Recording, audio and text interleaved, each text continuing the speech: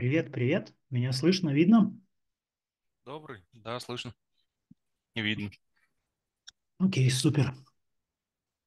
У нас еще есть время до начала. Если у кого-то есть какие-то вопросики, можно задавать. Да, больше интересует с тем, что каково это с нуля обучаться просто. А, ну, как обычно, как бы профессия программиста– это, как и любая другая профессия, она кому-то нравится, кому-то не нравится, да. И я всегда говорю, что первое, человеку нужно, ну, как бы понять для себя, вот э, нравится эта профессия или нет, потому что программисты занимаются достаточно специфическими вещами, и кому-то это очень заходит, а кому-то это совсем не нравится, да, и поэтому, ну, как бы курсы – это один из таких довольно быстрых и простых вариантов почувствовать в действительности, что такое программирование, а, и для себя определиться, подходит, ну, как бы нравится этим заниматься или нет. Если уже нравится, тогда и, и как бы это зацепит, тогда уже э, можно строить планы, как э, обучиться этому всему и как э, потом попасть в айтишку. Ну, как-то так. То есть, ну, то есть, как бы за мою практику, сколько это лет, почти 15 уже преподаю, то есть были люди, которые как раз вот в процессе обучения их это очень зацепило, им это очень понравилось, и они, а, ну, как бы с удовольствием, ну, почувствовали, что это такое, с удовольствием а, этим занимались, и тогда обучение, ну, намного прикольнее и проще идет, и, и так далее, да. А были люди, которые, как бы, в процессе обучения понимали, что это, ну, как бы не его, да, и это им не нравится, и ну, как бы отказывались и искали что-то другое в жизни. Ну вот, как-то так. У меня просто э, два друга, скажем так, прошли именно вот курсы с первого, ну, первой Явы и второй Явы. Mm-hmm. И они вполне довольны остались. Оба устроились, работают. Ну, ну да, я как говорю, то есть э, кому-то это очень заходит. Ну, то есть айтишку нельзя учить когда это тебе не нравится. То есть через силу это очень сложно, это непродуктивно, это вообще никак, да. А вот если тебе это зашло, если тебе это понравилось, э, и ты как бы кайфуешь от, от самого процесса обучения, тогда это уже вот, э, тогда ты с удовольствием будешь уделять время, потому что для обучения нужно достаточно большое количество времени, а, потому что это практическая дисциплина, и здесь придется изучать очень много практических вещей, а, набивать вот эту практику и, и так далее, да, и как бы на это, на, на, на это будет надо время, и если действительно понравится, то, то да, вот как пример, люди проходят несколько курсов, устраиваются на работу. Просто также, опять же, вопрос.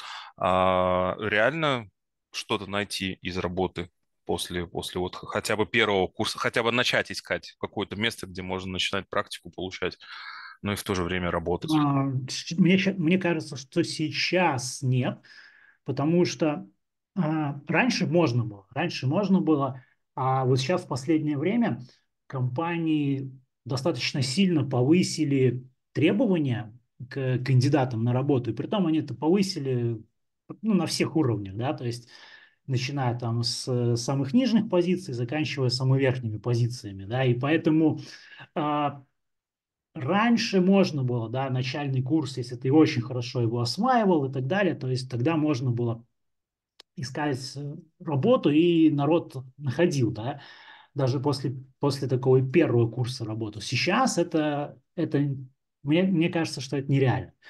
А, потому что требования у компаний такие, что там как минимум надо второй курс точно проходить. Ну, потому что компании требуют не просто основ программирования как такового, а уже владение определенными а, инструментами, определенными библиотеками, ну, хотя бы на каком-то начальном практическом уровне, да, а, потому что они сейчас, наверное, компании меньше готовы обучать и очень сильно вкладываться в кандидатов, они хотят, э, чтобы эти кандидаты приходили более качественными, более прокачанными. Вот. Ясно. Благодарю за ответ.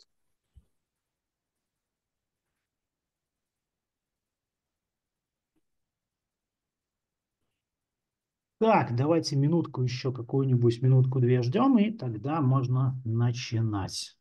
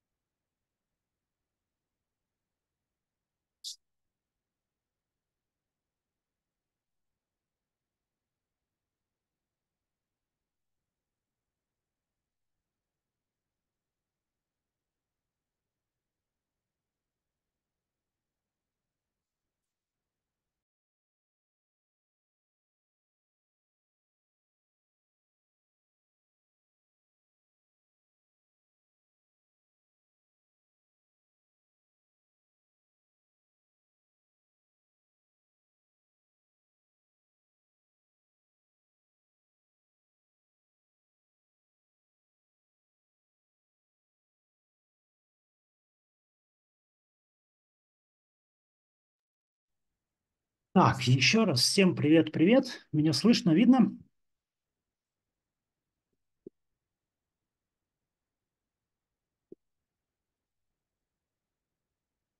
Народ. Дайте обратную связь. Ну, я тебя вижу и слышу. Супер, отлично. Ну, значит, значит, все хорошо. Иногда бывает со связью что-то, ну, барахли, да?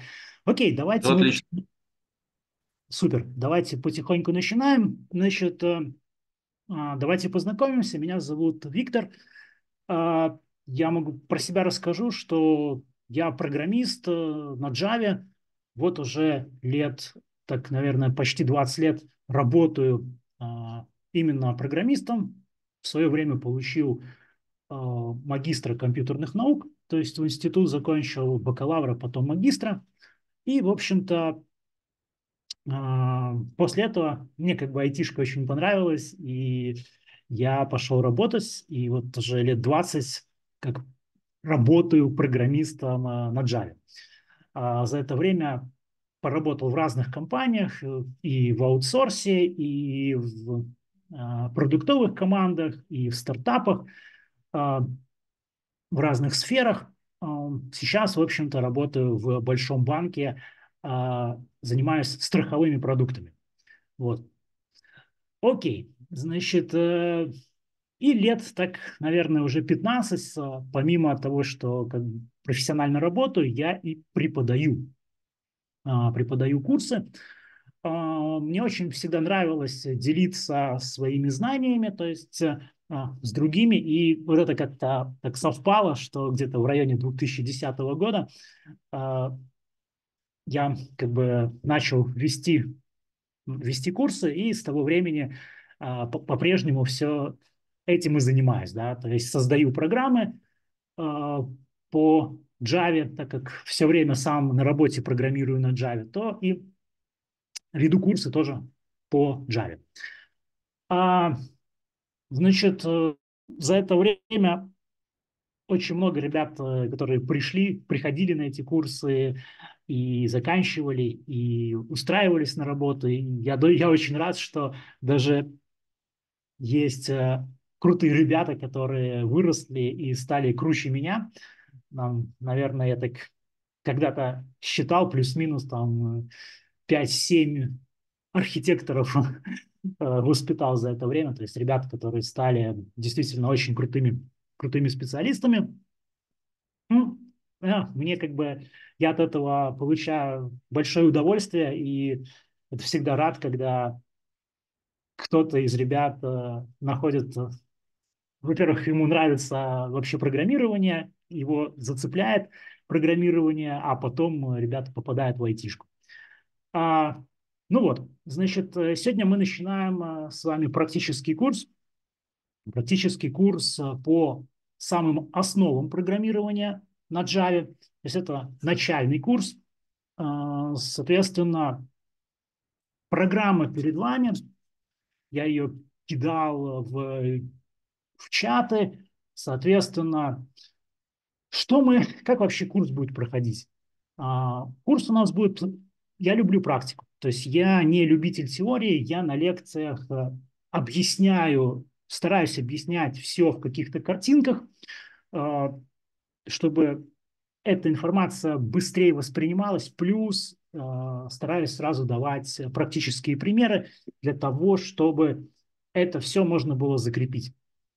Поэтому это чисто практический курс. Мы на каждой лекции, за исключением первой сегодняшней, потому что нам сегодня придется а, много поговорить про то, что такое программирование, про, про различные программные обеспечения, которые нам нужно, и для того, чтобы вообще начать изучать э, Java и программировать. То есть нам сегодня придется засетапить environment – поставить некоторые программки, скачать наш репозиторий с кодом и поговорить вокруг программирования достаточно много вещей.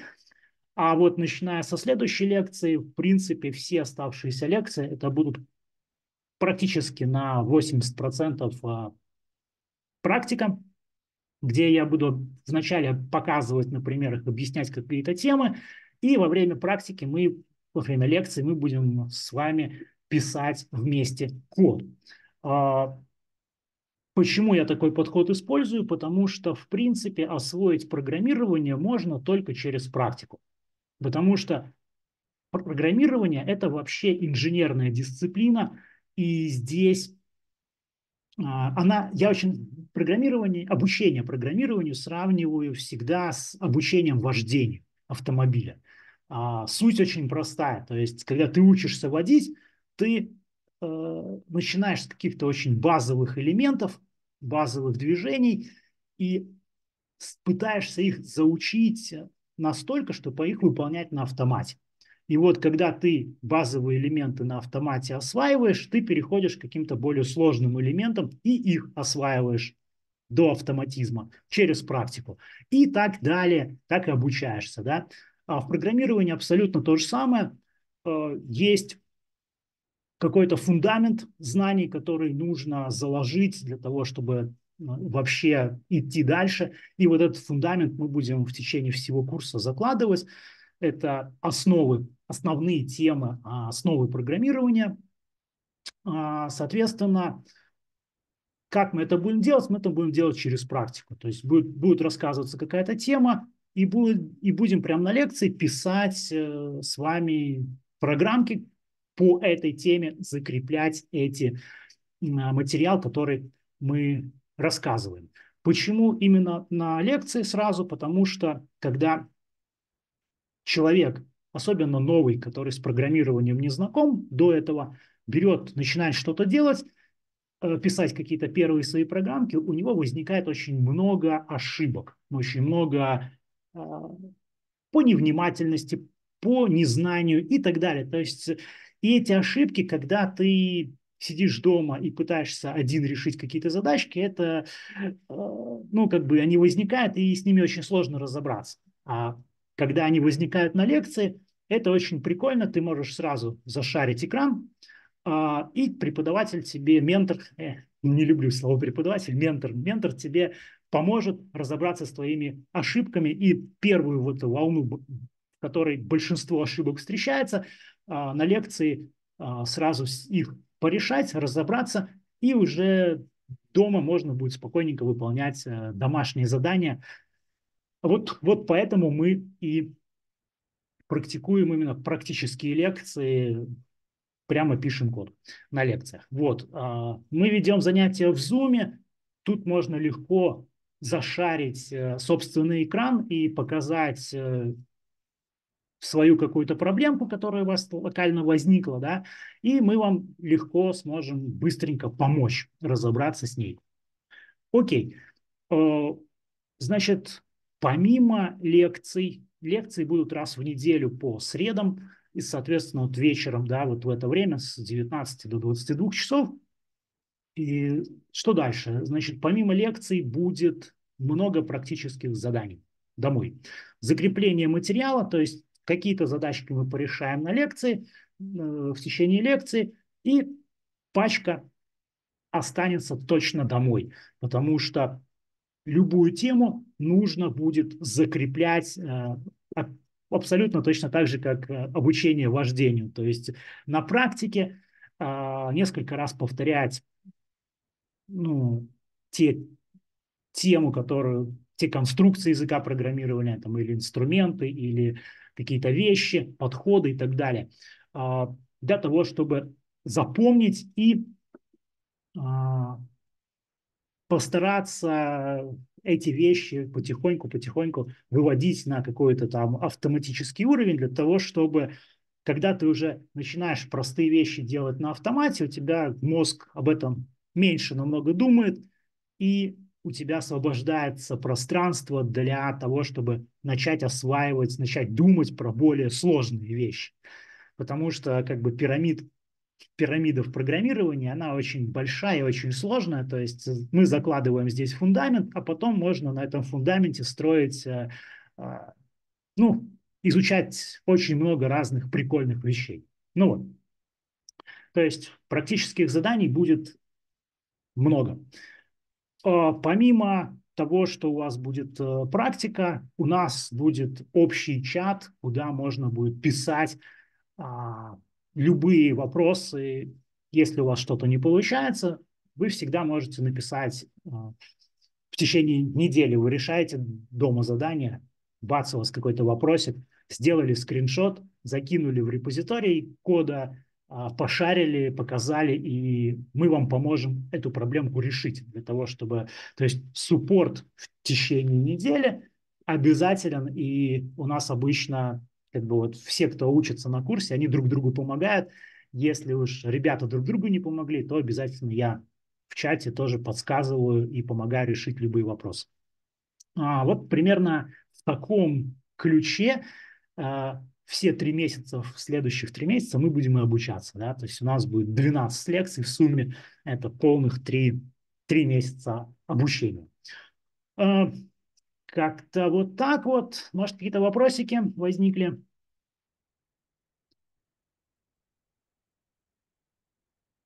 А, на тему, на тему заданий, которые здесь есть, э, то есть э, вы будете вы их решаете. А, есть задачки, они начинаются обычно с более простых, потом потихоньку чуть более сложными становятся. А, помимо стандартных заданий в лекциях, есть еще в курсе будут, а, по-моему, там 5 мини-проектиков, на которых тоже, ну, которые уже не какие-то небольшие задачки, а именно больш... побольше такие проекты, на которых э, оттачиваются определенные скиллы, определенные навыки а, в программировании. Вот.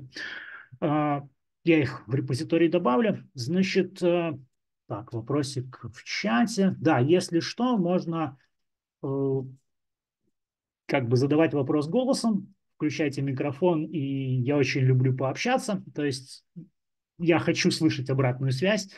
Для меня это, ну, для того, чтобы классно вести лекцию, нужно чувствовать аудиторию, то, что, что вы понимаете, что вы не понимаете. Так что обратная связь голосом или хотя бы в чате, она очень-очень-очень приветствуется. А со следующего занятия, ну, прям э, при решении задачек надо, надо голосом будет общаться. А, окей, значит, э, про вопросик в чате, про стоимость. Э, ссылка на курс. Значит, что, что такое ссылка на курс? У нас программа, программу я присылал в чаты, вот она. Дальше мы будем с вами использовать, мы сегодня а, засетапим а, environment, мы будем использовать репозиторий, гитхабовский репозиторий для того, чтобы шарить а, наш код, наши, наши материалы этого курса. Соответственно, сегодня мы с этим разберемся. То есть мы, как настоящие программисты, будем использовать э, профессиональный инструментарий для того, чтобы а, материалы нашего курса, домашние работы, все сделанные задания, которые мы будем делать, чтобы они все лежали в одном репозитории, и для этого мы будем использовать гитхабовский э, сервер. Об этом мы чуть дальше поговорим. Значит, э, про стоимость это мы пришлем вам всем после этой лекции. Сегодняшняя лекция абсолютно бесплатная для того, чтобы вы просто познакомились э, со мной, позадавали любые вопросы, которые касаются обучения. А, если вам понравится, то условия все будут присланы вам а, после лекции, завтра, наверное, послезавтра, вместе с записью этой лекции. И до следующей среды вы, вы будете решать, э, хотите ли принимать участие в этом курсе или нет. Помимо самих лекций будут, конечно же, записи этих лекций, потому что занятия все будут проходить в Zoom. Мы эти лекции записываем и выкладываем на YouTube и, соответственно, присылаем линк э, после лекции на следующий день. Ну, например, если пропустил занятие, то всегда можно в записи это занятие посмотреть, и ничего страшного, ничего не пропустишь. Вот. Так, что еще? Есть какие-то еще такие вопросы ну, по программе? Ну, не знаю, стоит ли просто пройтись по программе, а, что мы пройдем. То есть э, сегодня это установка программного обеспечения, настройка нашего проекта Git, э, GitHub, идея, JDK и все эти вопросы, которые касаются environment и вообще, чтобы начать нормально программировать. И со следующей лекции это там переменные типы данных. Э, на третьей лекции мы уже сразу посмотрим, что такое объекты. Э, сделаем такое первое обзор объектно-ориентированного программирования, потому что язык программирования вообще Java – это объектно-ориентированный язык программирования. И эту концепцию э, очень сильно применяют, и мы будем с ней как можно раньше знакомиться. Э, вся условный оператор, важная лекция про методы, то есть деление наших, наших нашей программы, нашего алгоритма на какие-то определенные кусочки, как это делать, зачем это делать и так далее. Э, лекция про тестирование, потому что без умения тестировать собственные программки, написать э, хороший, хороший код невозможно.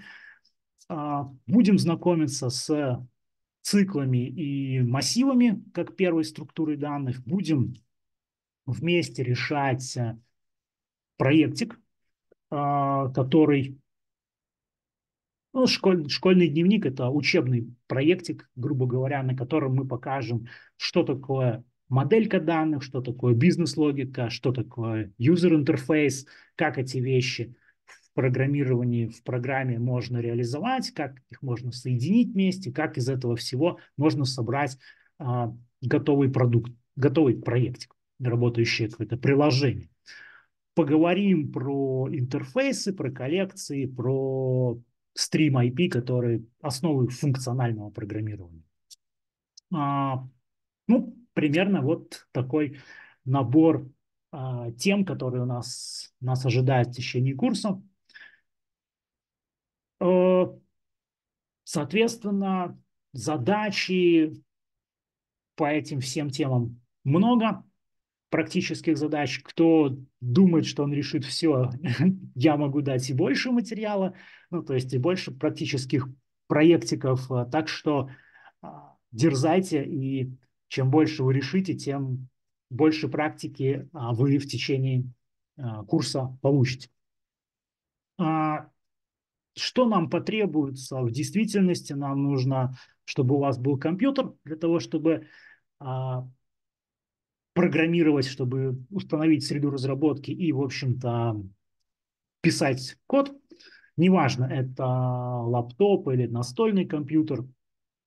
А, в принципе, каких-то требований к программному, к железу у нас э, нету, потому что мы не будем какие-то супер мощные программы здесь писать на начальном курсе, так что нам практически любой компьютер подойдет. Ну и желание учиться, и да, иногда придется немножко погуглить какие-то вопросики и задавать вопросы. Ну, умение даже, может быть, даже не гуглить, а умение задавать вопросы, потому что это очень важно, потому что когда программирования этих вопросов всегда очень много. И вот а нужно научиться эти вопросы задавать. Как Гуглу, так и вообще в общем чате, так и ментору, так и вообще любым коллегам, с которыми вы будете работать. Потому что если вы хотите узнать э, больше информации, получить больше знаний, то умение общаться, умение задавать э, вопросики – это ну, как софт-скиллы, они в современном программировании очень-очень сильно, в современной разработке программного обеспечения, они играют очень большую роль. Ну вот, а, кто знает вообще, где применяется Java как язык программирования? Мобильные приложения. Ага, окей. Где еще? Различные разработки для банков, а, возможно, в сайтах каких-то также используется. Я, кстати, хотел задать вопрос. Э, вот ваш курс, он ориентирован на, ну, на что-то широкое, на разработку сайтов в том числе, различного программного обеспечения мобильных приложений, либо он более узко направлен? А, ну, да, давайте вот я сейчас сначала начну, где применяется Java, а потом как раз отвечу на ваш вопрос. А, соответственно, если смотреть на, как бы, на мир программирования и на, на Java, на, как и на язык программирования, вообще Java это а, топовый язык программирования, и вообще Java это не совсем, ну как бы это не только язык программирования, это платформа разработки, да. Что это означает? Это не просто какой-то вот язык и, и все, да. Вокруг, а, вокруг этого языка построена, построена большая платформа разработки. А, что вообще делают на Java? Да, на Java делают э, мобиль, можно сделать мобильные приложения для того же самого Android, да, но намного больше, а, больше программного обеспечения на Java пишут на так называемом бэкэнде. Java – это бэкэнд язык программирования. То есть, э, если мы говорим вообще про мир программирования, и, может быть, вы слышали такие понятия, как фронтенд и бэкенд. Да? Типа фронтенд – это все, что касается каких-то интерфейсов, с которыми взаимодействуют пользователи. Ну, например, мобильные приложения, веб-сайты, а, что-нибудь, какие-нибудь там ну, для, притом для всяких разных платформ, там, для iOS, для Android, для веб-сайты для, там, для разных, опять же, этих браузеров и т.д. Да? Это все user interface, это все про фронтенд. А Java это про backend, это про ту часть программного обеспечения, которую обычный пользователь никогда в жизни не видит. То есть, если мы возьмем а, то же самое банковское приложение, да, банковский Э, банковский сайт, да, интернет-банк, например, как, как один из примеров, да, то за вот этим вот красивым сайтом или за тем красивым мобильным приложением, которое используют конечные пользователи, скрывается огромная, огромная, э, огромный бэкэнд. То есть это программное обеспечение, которое работает где-то в дата-центрах, где-то у банка в дата-центрах, там стоят сервера, и на них работает вот эта вот часть, которая называется backend. Э, именно вот эта часть очень часто пишется, ну, не всегда, но очень часто пишется на, том, на той же самой Java-платформе.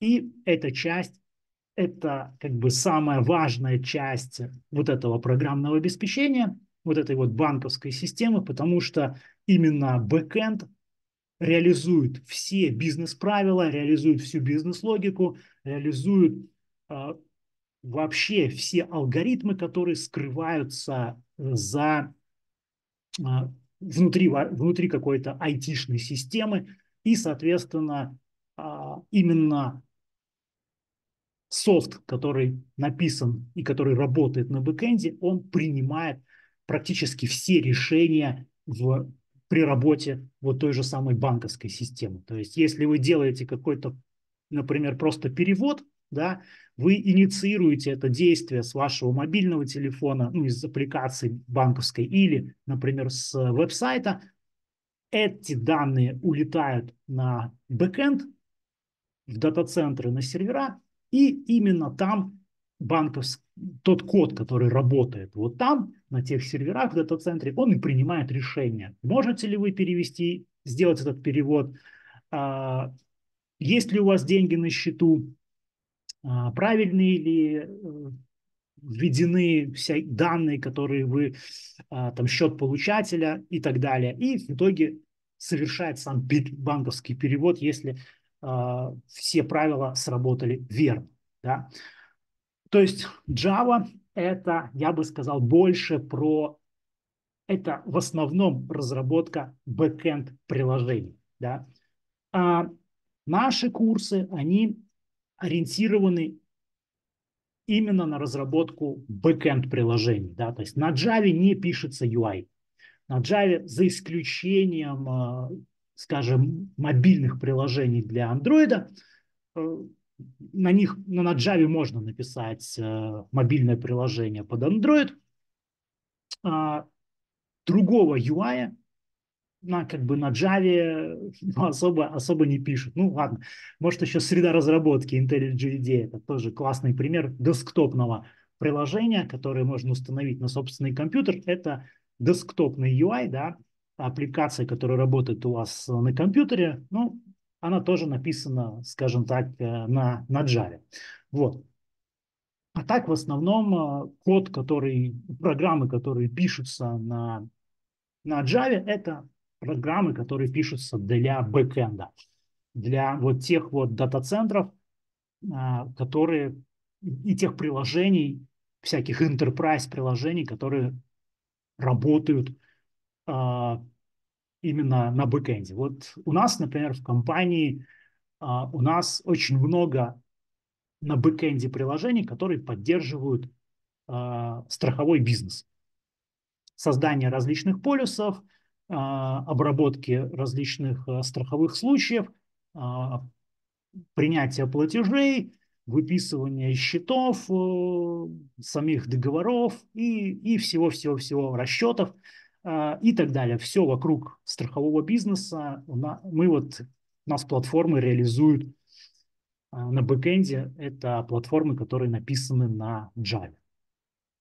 Это, это огромный, огромный банк с огромным количеством пользователей, там десятки миллионов а, клиентов у, ну, как бы у компании, да, поэтому, ну, вот, вот так. То есть и отвечая Спасибо на вопрос, большое.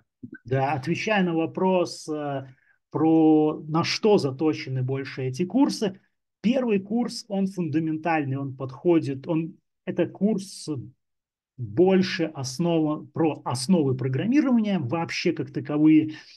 И, а, соответственно, здесь изучаются Java Core, да, то есть его основная часть языка программирования на Java, она подойдет и для backend разработки, и если, если вдруг вы захотите изучать э, мобильную, мобильную разработку на Java, то это, эта часть вам, ну, как бы она, она нужна, потому что это, это фундамент нас после, вот, после этого курса там уже можно выбрать, если ты хочешь идти четко, жестко в бэкэнд, ты идешь э, в одну сторону, если ты хочешь идти э, в мобильную разработку, ты идешь в другую сторону, потому что понятное дело, бэкэнд а, и программы, которые пишутся, приложения, которые пишутся для бэкэнда, они используют одни технологии, потому что это, это сервера, это дата-центры, это большие или маленькие приложения, которые там крутятся и обрабатывают огромное количество там запросов, данных и так далее.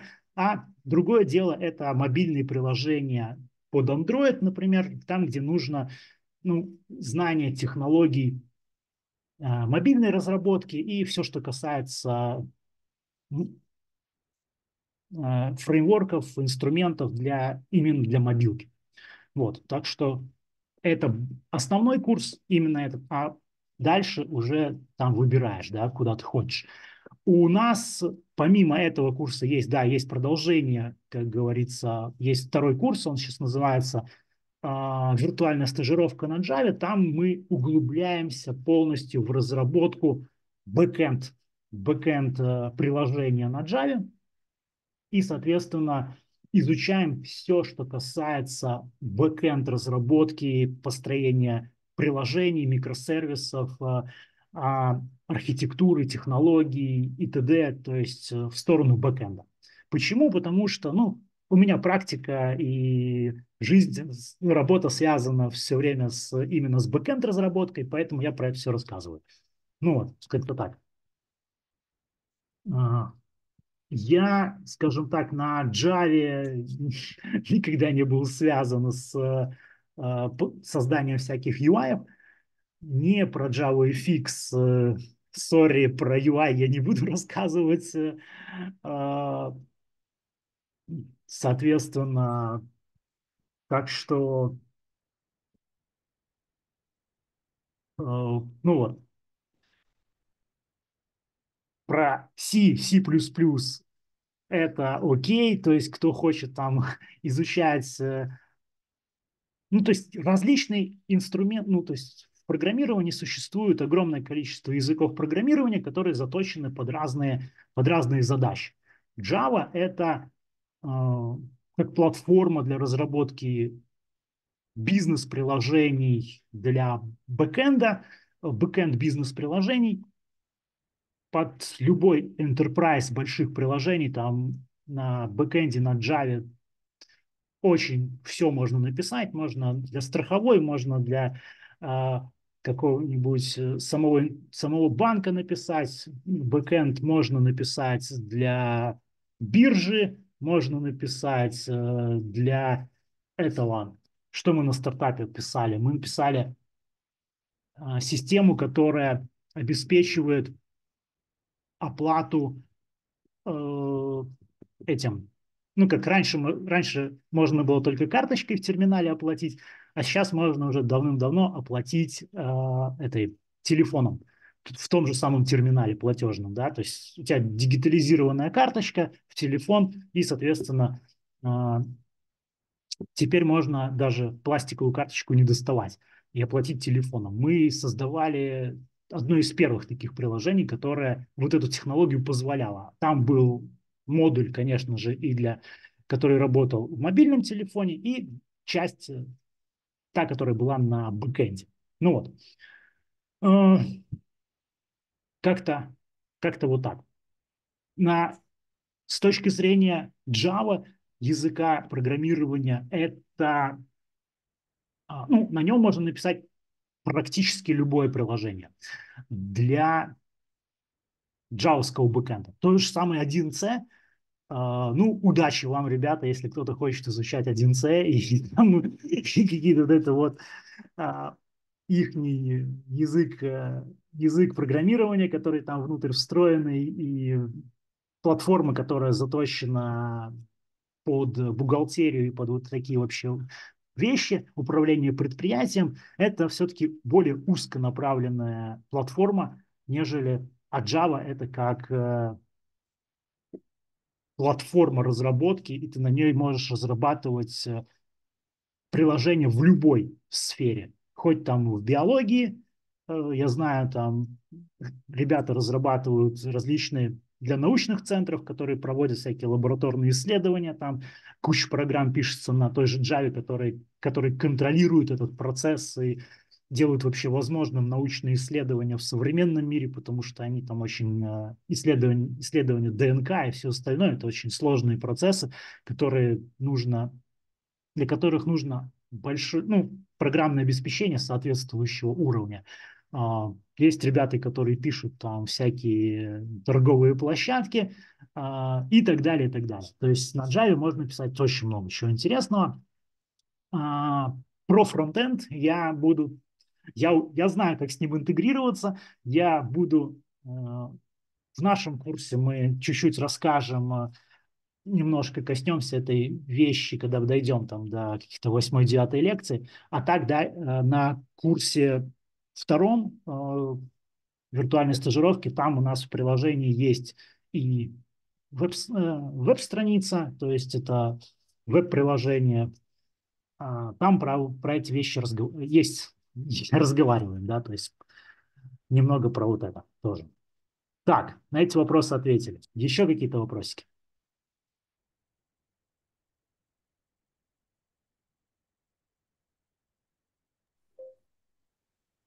Да пока вроде нету. Окей, good. Тогда давайте поехали поговорим про программное обеспечение, которое нам вообще потребуется для разработки на Java. Соответственно, а, нам нужны две вещи для начала, для того, чтобы вообще что-то начать. Нам нужна среда разработки и нужна, нужен гид. Почему что это такое и зачем это нужно, да? Что такое среда разработки? А, Java программы, давайте я вам просто покажу, что такое Java программы. Вот. Java программа. Любая программа, а, написанная на языке Java, это просто какой-то набор текст. Это какой-то текст, а, в котором применяются английские слова. Это программа строится определенным, в ней есть определенный синтаксис, по которому вот эти конструкции строятся, да, мы про, про это все будем разговаривать, но сейчас такое общее просто представление, что да, программка это текстовый файлик, а это какой-то текст, это не какие-то там magic числа или еще что-то такое. А, например, аналог, если вы создаете какой-то Word, ну, какой-то текстовый документик, а, вы можете это делать в блокноте, в простом блокноте, в котором ноутпэде, например, в котором нету никаких очень инструментов, да, а, которые помогают вам а, в создании красивого текстового документа, а вы можете то же самое делать, например, в Microsoft Word или в OpenOffice. Это платформа, которая позволяет вам добавляет, позволяет вам использовать какие-то какие инструменты для а, создания такого ну, красивого э, текстового, э, текстового документа. А, соответственно, конечно же, удобнее работать в каком-нибудь Word. А, то же самое а, среда разработки для программирования. То есть, когда мы пишем какие-то программы, нам не хватает просто... Ну, мы можем программы просто, так как это программы, это просто текст, мы их можем написать в том же самом Notepad.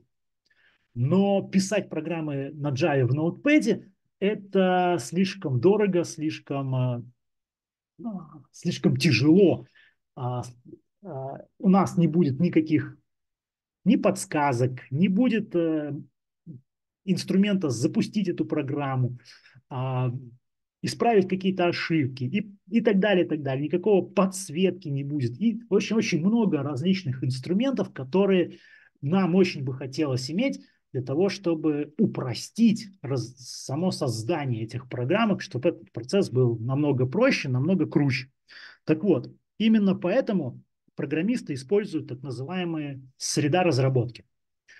Uh, Integrated Development Environment, IDE. И для Java одна из, ну, ну, наверное, самая крутая, которая среда разработки самая удобная, а, это IntelliJ идея. Да? А, окей, IntelliJ идея, то есть это полноценная среда разработки, то есть программа, которая будет вам со всех сторон помогать в создании джавовских программ. И в ней очень огромное количество инструментов, которые, которые помогают от, начиная от простой подсветки. Тут вы видите, программа подсвечена совершенно разными а, цветами, да, а, текст, текст программы подсвечен. А здесь же встроены инструменты для запуска этих программ на Java. Здесь же встроены инструменты а, для набора более удобного, подсказки и все такое прочее. Вот. Кто скачал IntelliJ идею уже к себе на комп? Скачал. Окей. А кто-то еще не сделал это? Я ус... У меня установлено. Отлично. Ну, те, кто установили, молодцы. А если кто не установил, то в Гугле можно очень просто берете, открываете Google, выбираете идея, и первый линк JetBrains, это компания, которая выпускает эту штуку, и, соответственно, download. Вот кнопочка download. И очень важный моментик. У IntelliJ у этой среды разработки есть две версии. Две. Одна называется Ultimate, а другая называется Community. Соответственно, Ultimate – это штука платная. У нее есть 30 дней триалка и после этого она захочет э, лицензию платную, э, соответственно, есть Community Edition, которая for free, которая для обучения, для open source, для всех таких вещей, ее можно использовать абсолютно бесплатно. А, соответственно, качаем и ставим себе Community Edition. Ну, надеюсь, кто скачивал, тот э, скачал правильную, правильную среду разработки. IntelliJ IDEA. Community Edition. А, значит, ну, в принципе, она скачивается как, э, ну, если на винду, то это как экзешник, который потом просто запускается на вашем локальном компьютере.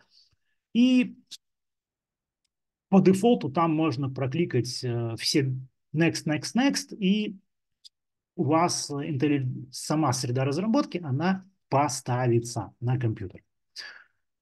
А, так, Будем кого-нибудь ждать, кто-то будет устанавливать ее сейчас, или она уже у всех стоит? И можно, можно уже идти дальше разговаривать.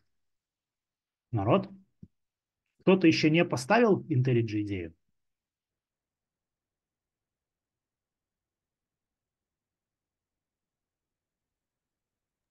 Мне нужно пару минут. Окей, давай тогда скачивай и устанавливай. А, потому что нам очень-очень нужно, чтобы она у, у всех э, эта штука стояла, потому что дальнейший... Сейчас мы еще поставим еще одну программку, гид, и после этого мы будем работать только в IntelliJ IDEA, мы будем настраивать, скачивать оттуда репозиторий с нашим кодом, и все остальное будем делать уже в самой среде разработки.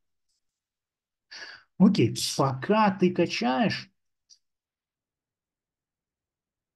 А если у кого-то платная версия куплена, welcome, можно использовать и платную версию, то есть ничего, ну, то есть еще, это, скажем так, в этом курсе вам каких-то плюшек не добавит, но запросто можете использовать вместо бесплатной версии Ultimate Edition.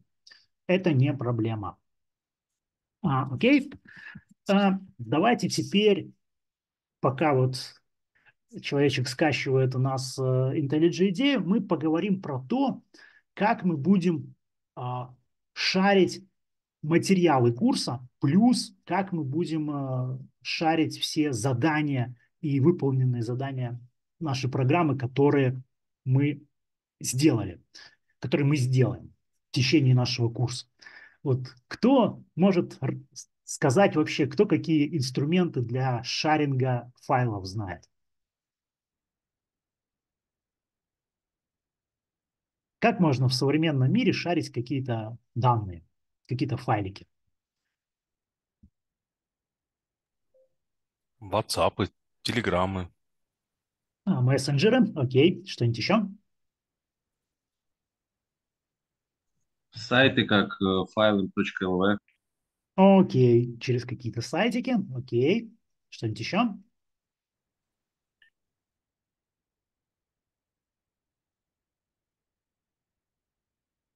Ну, окей. Значит, так, что нам написали в комментариях. Э, через Discord. О, кто-то сказал через GitHub, GitHub, GitHub, да. То есть, а, значит, электронная почта, тоже инструмент, как можно шарить файлики. Но, в общем-то, нормальные программисты, да и вообще все программисты на работе используют так называемые системы контроля версий. Version, version control системы. Почему? Программа установлена. А, отлично, хорошо. А, значит, а, современные программисты, в общем-то, используют version control системы. А, для чего? Для, для того, чтобы в современном мире очень часто применяется а, удаленная работа. Или у вас просто команды, э, которые работают над одним и тем же проектом, э, находятся в разных странах или в разных городах, или у вас просто даже люди находятся, работающие над одним проектом, находятся на удаленке. Каждый сидит дома, и им хочется с друг другом очень быстренько обмениваться сделанной работой. Окей. А, так вот, смотрите. В принципе, э, программа, написанная на Java, это просто набор каких-то файликов. И вот эти, вы сейчас, как бы мы вникнем в этот синтаксис, посмотрим потом, но для понимания это просто набор каких-то файликов. А все вместе эти файлики, с, это какая-то написанная программа. И вот большое, большое приложение на Java может состоять там из тысячи таких файликов. Вот, тысяча вместе собрано, это какое-то приложение. Окей. А, и вот в эту тысячу а, файликов команда, которая работает над каким-то проектом, она постоянно вносит какие-то изменения. Кто-то что-то туда добавляет, новые файлики, кто-то удаляет, кто-то изменяет какие-то файлики, работа постоянно кипит. И очень хочется получить какой-то прикольный, удобный инструмент а, обмена результатами своей работы. Кто-то добавил новый файлик, а как его быстренько зашарить со всеми остальными, которые сидят на удаленке?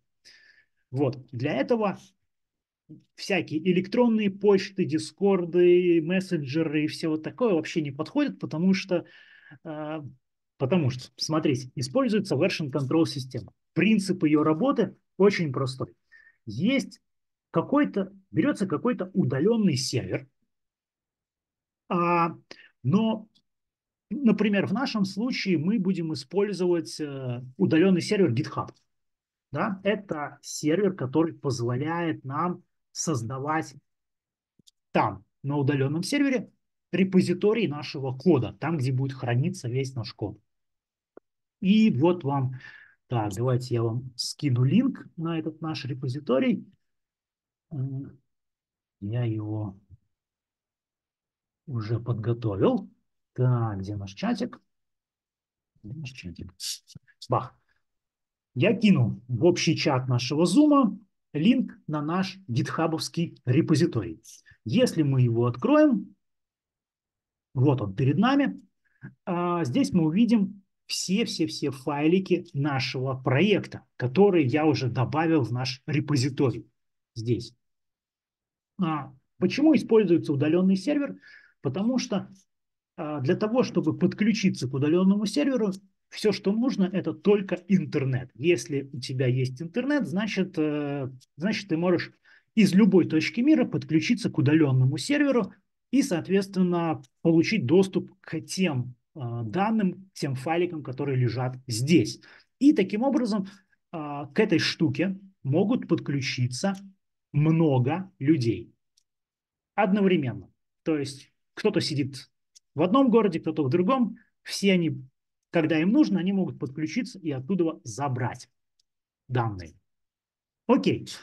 А для проекта, то есть для работы над проектом, на вот этом удаленном сервере создается так называемый репозиторий. Репозиторий кода – это хранилище, где будут лежать все файлики нашего проекта.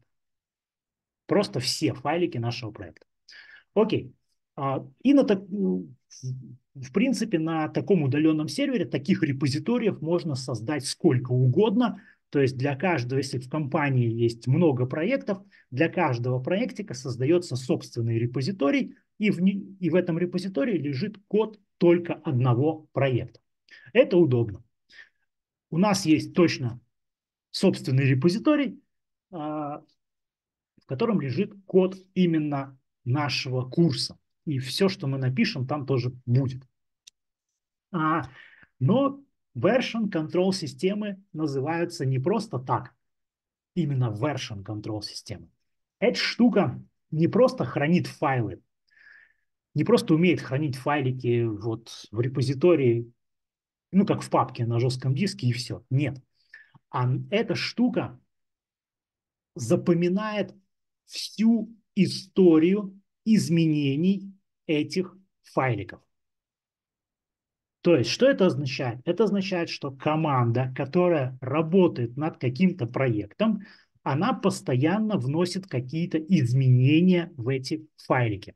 Что это означает? Как проект создается, репозиторий пустым, первое изменение, которое здесь появляется, например, кто-то в проектик добавил один файлик и прислал его. Это комит номер один. Первый комит. Потом кто-то взял, следующий файлик добавил и прислал еще один, прислал еще два файлика. И вот эти вот, это следующее изменение, это следующий комит. И так далее. А, в этом репозитории изменения появляются в виде комитов. То есть, когда вы, как разработчик, а, вносите какое-то изменение, вы объединяете несколько файликов, которые вы хотите, в которых вы в которые вы вносили изменения. Ну, например, какой-то файлик добавили, какой-то файлик удалили или какой-то файлик изменили. Да, внутри что-то изменили. Эти файлики вы объединяете в такое понятие, как комит, и закидываете этот комит в репозиторий, в удаленный репозиторий. И смотрите, какая история. Вот здесь под зелененькой кнопочкой у меня есть циферка 2 комита. Видите эту штуку? Можете туда кликнуть, и вы увидите вот такую вот страничку. Попадете на страничку, в которой сохранились два комита, в которых вы видите два комита. Это значит, что в этот репозиторий кто-то, ну я, два раза что-то закоммитил. Вы можете кликнуть в любой из этих комитов и увидеть списочек файликов, которые были добавлены в этом комите. Кликнули в другой, посмотрели. Вот. Тут вообще был добавлен, был изменен только один файлик, какой-то кусочек в нем был удален, вот этот красненький, а какой-то зелененький был добавлен. А что это означает? Это означает, что система контроля версий хранит не просто файлики, она хранит все изменения, которые команда разработки делает в этих файликах. И она хранит историю комитов. То есть эти комиты, они выстраиваются в одну большую цепочечку, и мы всегда можем посмотреть, кто автор этих комитов. То есть вам нужно будет, кто будет, кто захочет остаться на этом курсе, вам нужно будет сделать а, на GitHub свои аккаунты, потому что только если у вас есть аккаунт на GitHub, я смогу дать вам права для комита в этот репозиторий. И когда у вас будут права, вы от своего пользователя сможете коммитить какие-то изменения в этот репозиторий. И, соответственно, около вашего комита будет появляться ваш пользователь.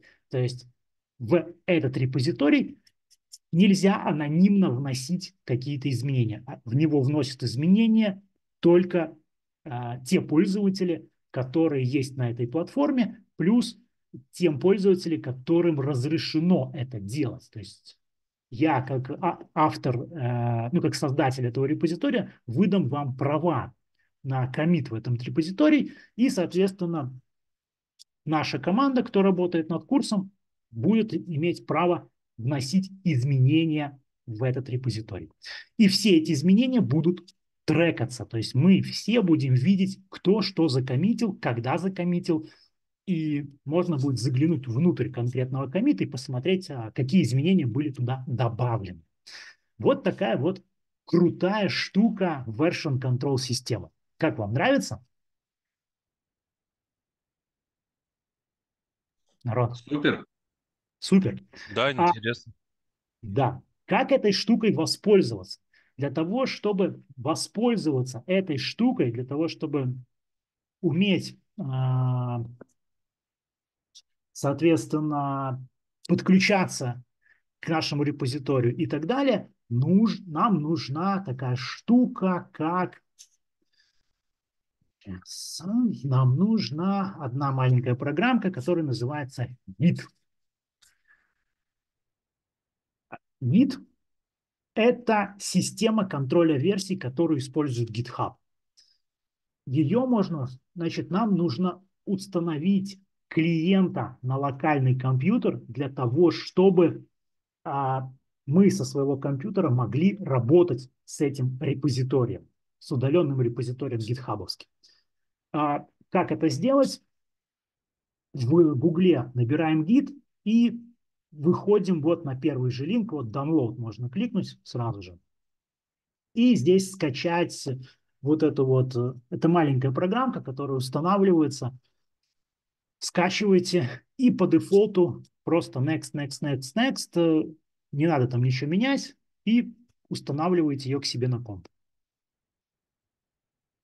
Эта штука позволит нам работать с гитхабовским репозиторием а, соответственно, клонировать э, репозиторий к себе на локальный компьютер. Это позволит создавать, ну, добавлять файлики, которые мы меняем в этот репозиторий, и закидывать их обратно на GitHub. Без этой программульки это сделать как ну, нормальным, нормальным простым способом не получится. Кто уже поставил себе гид на локальный комп? Я поставил, ну, когда она открывается, там черный экран, какой-то код, по всей видимости, надо вводить. Все верно? Да-да-да. Его просто нужно поставить и забыть. Мы гитом будем пользоваться через среду разработки. Я сейчас покажу, как. То есть напрямую через консоль мы не будем с этой штукой работать, потому что у среды разработки есть нормальный интерфейс прямо с UI, там, там все круто. Сейчас вы это увидите. Кто еще не успел поставить гид на локальный комп?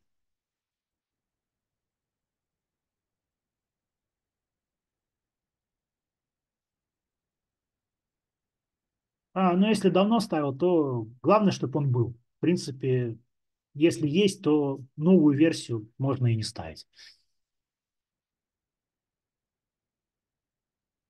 Так, ну, подразумеваем, что у всех он есть, правильно? Если никто не признается, значит, значит, значит идем дальше. А давайте, если у нас все есть, давайте попробуем открыть среду разработки. И она должна при первом старте выглядеть у вас примерно вот так. Такое вот примерно окошечко. Но вот здесь вот посерединке у вас этих всех проектиков не должно быть. Ну, у вас их нет. Окошечко примерно так выглядит у вас? Примерно так. Окей. Да. Хорошо. Так.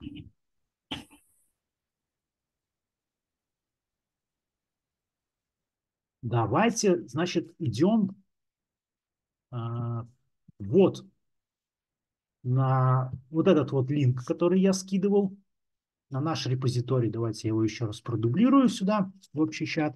Открою этот репозиторий а, в браузере. И здесь вы увидите такую зелененькую большую кнопочку. Она чуть-чуть справа. Вот здесь находится. Вот она. Кликаем на нее. И здесь есть поле, в котором указан какой-то URL. Вот на эти, тут его, его нужно скопировать. Он нам нужен для того, чтобы склонировать этот репозиторий, весь код этого репозитория, все файлики этого репозитория к себе на локальный компьютер. Копируем этот линк и идем в нашу, в это окошечко среды разработки. У вас наверху, по-моему, справа, должна быть кнопочка, которая называется Get from VC. Есть такая? Клоун репозиторий есть. Так. Хочешь зашарить экран? Давай посмотрим. То, что нужно. Или нет. Если share экрана, то внизу у зума есть зелененькая такая кнопочка Share Screen. Сейчас, сейчас.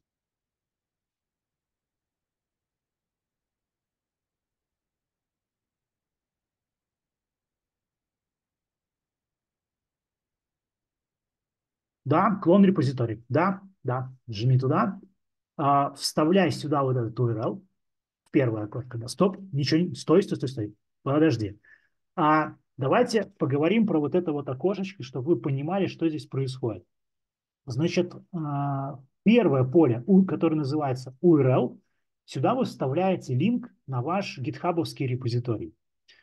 А второе поле, директор, видите, здесь в, это, в этом поле вы можете указать любой локальный фолдер, любую локальную папку на вашем компьютере, куда вы хотите скачать ваш проект. Единственное требование, которое выдвигается, эта папка должна быть пустой. То есть клонировать а, проектик, то есть скопировать, по сути дела, проектик с GitHub на локальный компьютер можно только в пустую директорию. Такой вопрос. А если присутствуют русские буквы? Где? Э, на, на пути. Нет, лучше, удал... Нет, лучше путь без русских букв. А то проблемы могут быть с жалобой. Создай какую-нибудь папочку там, где у тебя нету русских букв. А, да, я, у меня, как обычно, сделано, чтобы вот этот путь очень долгим, длинным не был, у меня есть на диске C напрямую создан, например, папочка Projects. Потому что у меня много таких проектиков, у меня есть просто одна папочка Projects, и внутри нее я сохраняю вот эти вот, э, создаю новую папочку для нового проекта и туда клонирую проект. Тогда мне не, надо, не приходится долго что-то искать. Да, у меня на диске C прямо напрямую путь э, папочка Projects, и в ней а, уже сразу все другие папочки каждого из проектиков. То есть, когда вы клонируете ваш репозиторий, вот здесь вы указываете папку локального компьютера. Если вы это сделали, то нажимайте кнопочку «Клон», которая находится внизу, синенькая.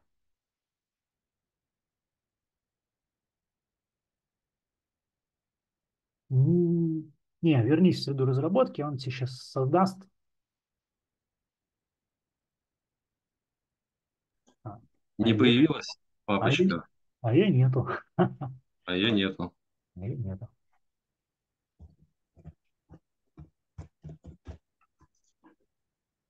Так. Ага, клон cancelled.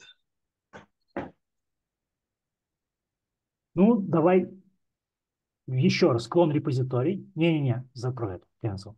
Вон у тебя справа в верхнем углу. Справа. Вижу. Вон, да, вбивай сюда. Просто выбери эту папочку. Тут можно же, вон, иконку надо. Можно и так. Да. Так, C. Вот она, Java Projects, да, окей. И клон. Все. Процесс идет процесс идет. Это займет некоторое время, потому что там достаточно много файликов. Ну, буквально минута. А вот здесь нажимаем Trust Project, первую, да. И после этого у вас открывается среда разработки, сам проектик. И дальше внизу тут прогресс-бар, то есть он сейчас чуть-чуть поустанавливается немножко, и тогда все будет окей. Да, чуть надо подождать. Народ, как у других, планируется проектик? У меня это окошко почему-то немножко иначе выглядит. Давайте я вам покажу. А, так. Я отключаюсь тогда, да? Да, давай, ты отключайся. Мгм. Давай, зашарь экран. А, вот, сейчас, секунду.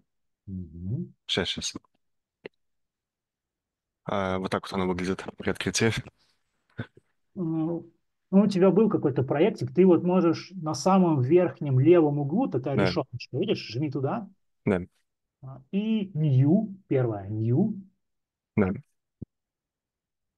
И третье, from version control. Мгм. Жми туда, вот это, вот это окошечко, вбивай сюда этот Да. URL, который... ск- И теперь выбираешь директорию. Ну да, ты Мгм. Копировал, да, и выбирай директорию на локальном компьютере, куда ты хочешь склонировать, собственно. Да, папочки уже создал, так что окей. Ну да, найди только ее. Окей, спасибо.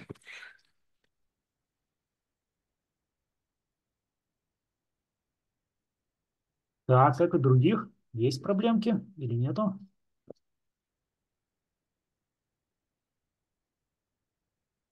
Если у вас проблемок нету, то вы должны были увидеть... О, это не тот проект. Слишком вам будет не очень удать. То есть, что вы должны были увидеть? Вы должны получить а, вот этот процесс клона. Что он означает? Этот процесс э,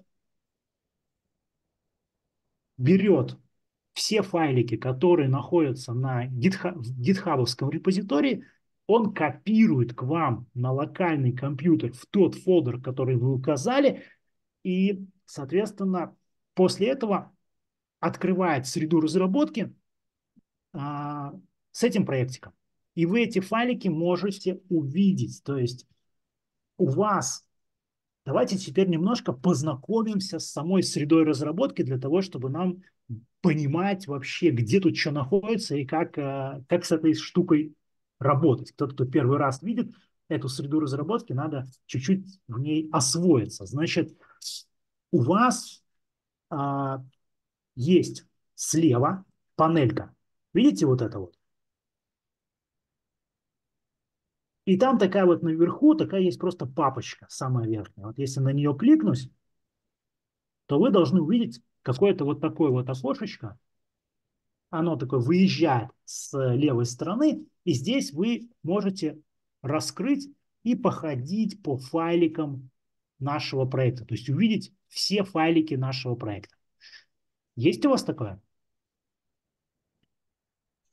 Не совсем. Окей, давай зашарь экран. У вас чуть-чуть поновее среда разработки, поэтому она чуть-чуть выглядит по-другому. Ну давай, на тебе и покажем.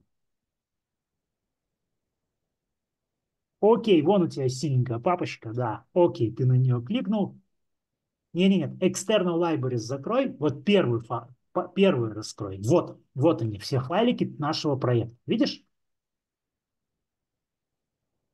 Вот в этом диалоге можно перемещаться по файликам. Так, закрой это окошко, а открой в среду, сред- отк- вернись в среду разработки. Да, смотрите, просто поперемещайся. Открой, например, файлик gitignore. Кликни два раза на нем, он чуть ниже находится. На одну позицию ниже, чем у тебя выделено.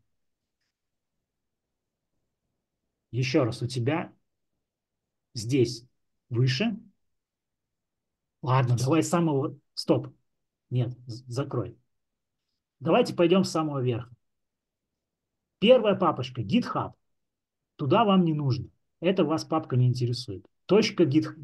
Gradle тоже не интересует. Точка идеи тоже не интересует. Gradle тоже не интересует.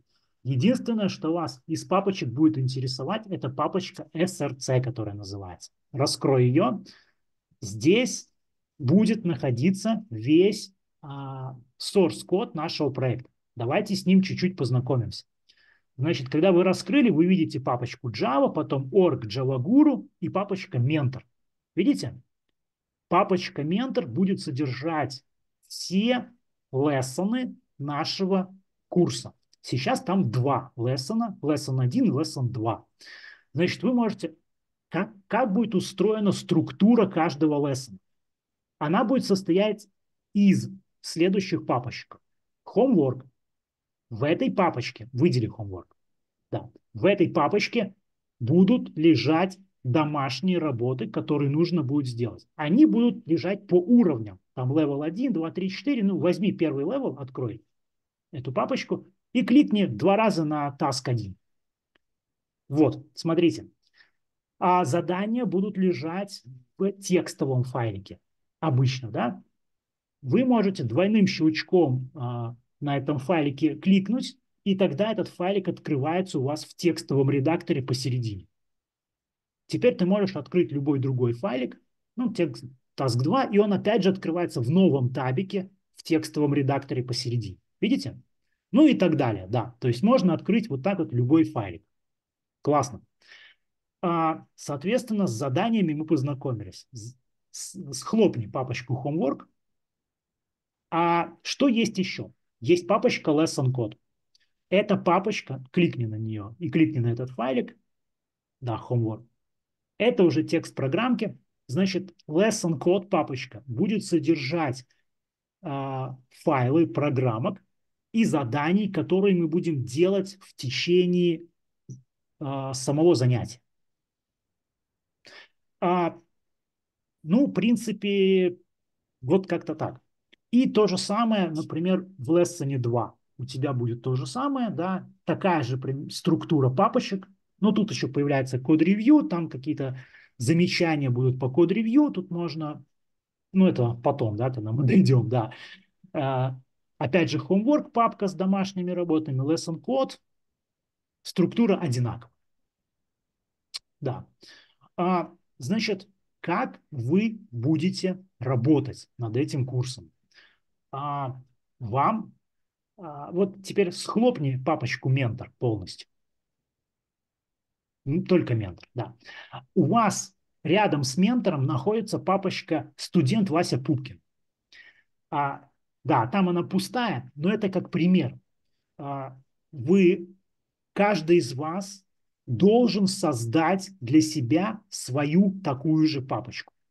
Как это можно сделать? А, стоп, стоп, стоп, стоп, стоп, стоп. Кликни, пожалуйста, на org Javaguru, на одну выше. Вот да. И здесь всплывающее меню. И самое верхнее, самое верхнее. New, нет, package. New package. Да. И теперь, не-не-не, не стирай это. Просто после точки добавь student, student нижнее подчеркивание и свое имя и фамилию. С маленькой буквы. Без пробела. А можешь нижнее подчеркивание посерединке между фамилией. Да. Стоп, вот останови здесь, пожалуйста.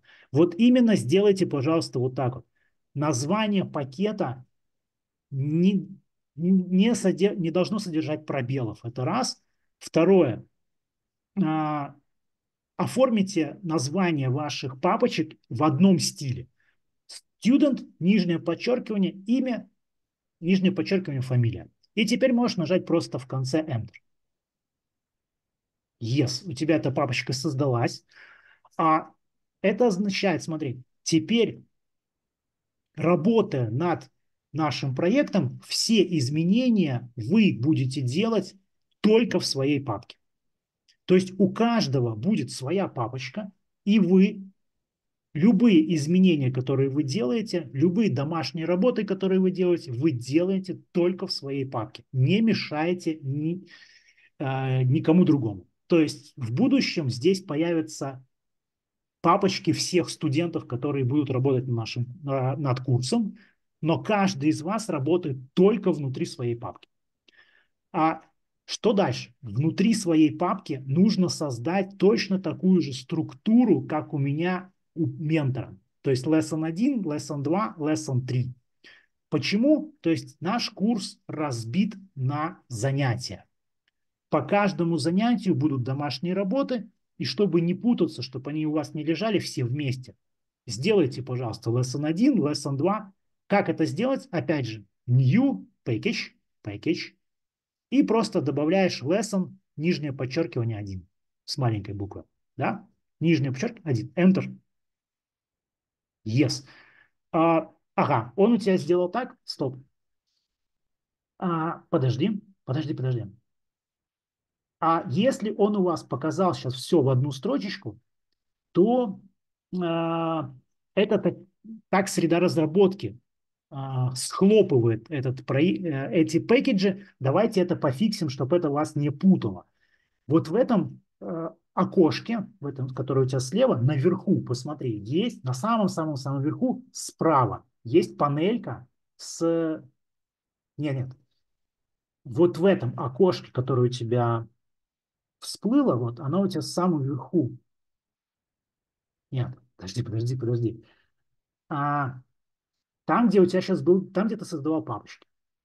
Yes. Поднимайся выше. Нет, поднимай. Нет, не, не, не в самом окошечке, поднимайся выше, вот, и ты видишь, вот, да, вот эта панелька, да, это панелька инструментов вот, этой, э, вот этого окошечка, где отображаются все файлики. Да, нажми на Options, окей, и здесь, подожди, Appearance, по-моему, да, сейчас. Вот, убери галочку Compact Middle Packages, она последняя, вот это, да, убери ее. Оп, Смотри, что у тебя получилось. Угу. То, что нужно, да? Теперь опять же кликаешь на свою папочку, опять же делаешь New и делаешь Lesson 2.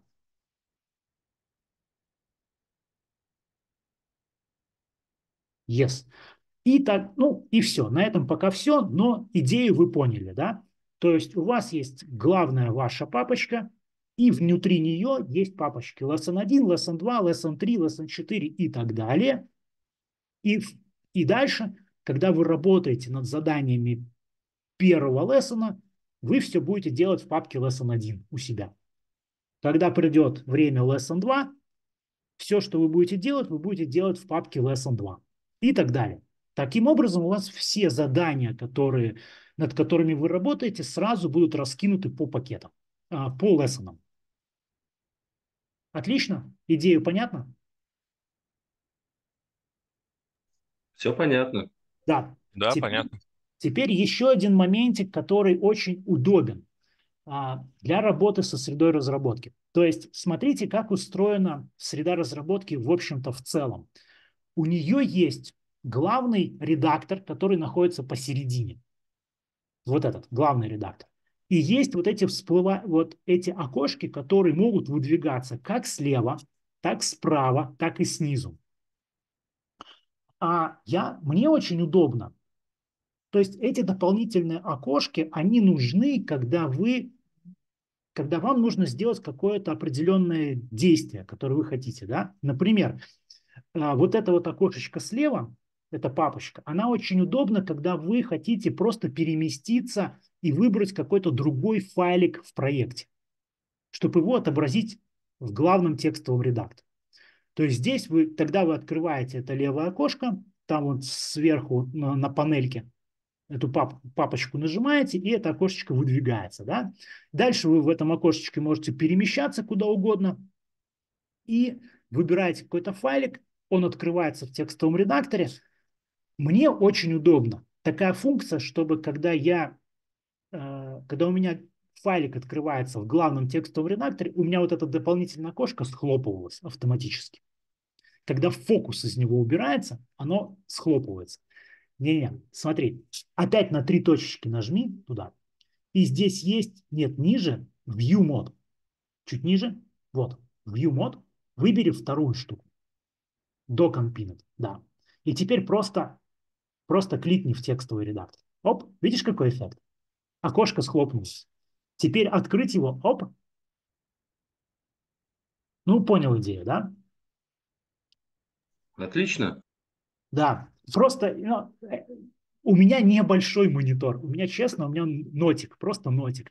У меня как бы, мне дорого пространство. Я особенно еще использую большой шрифт, ну, для кода, потому что как бы у меня зрение не, далеко не идеальное, поэтому у меня большой шрифт, и мне удобно, чтобы вот эти все дополнительные окошки, которые иногда открываются, чтобы они автоматом схлопывались.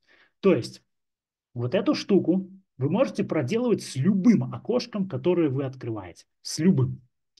Чтобы, когда вы будете пользоваться функционалом этого окошка, вы можете вот на, на эти же три точечки нажать том окошечке и выбрать вот этот view mode до Unpinned, да, и тогда это окошечко будет автоматом схлопываться после того, как вы возвращаете, как оно теряет фокус. Когда курсор, когда фокус перемещается в, а, в главный текстовый редактор. Ну, вот такая маленькая штучка. А, давай вернись еще в, в эту панельку, да, сюда. И опять выбери три точечки наверху. И appearance, э, сейчас, подожди. А, не, выбери, подожди, выбери behavior. Э, а,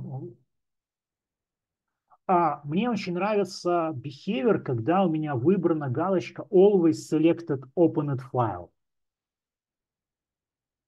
Вот.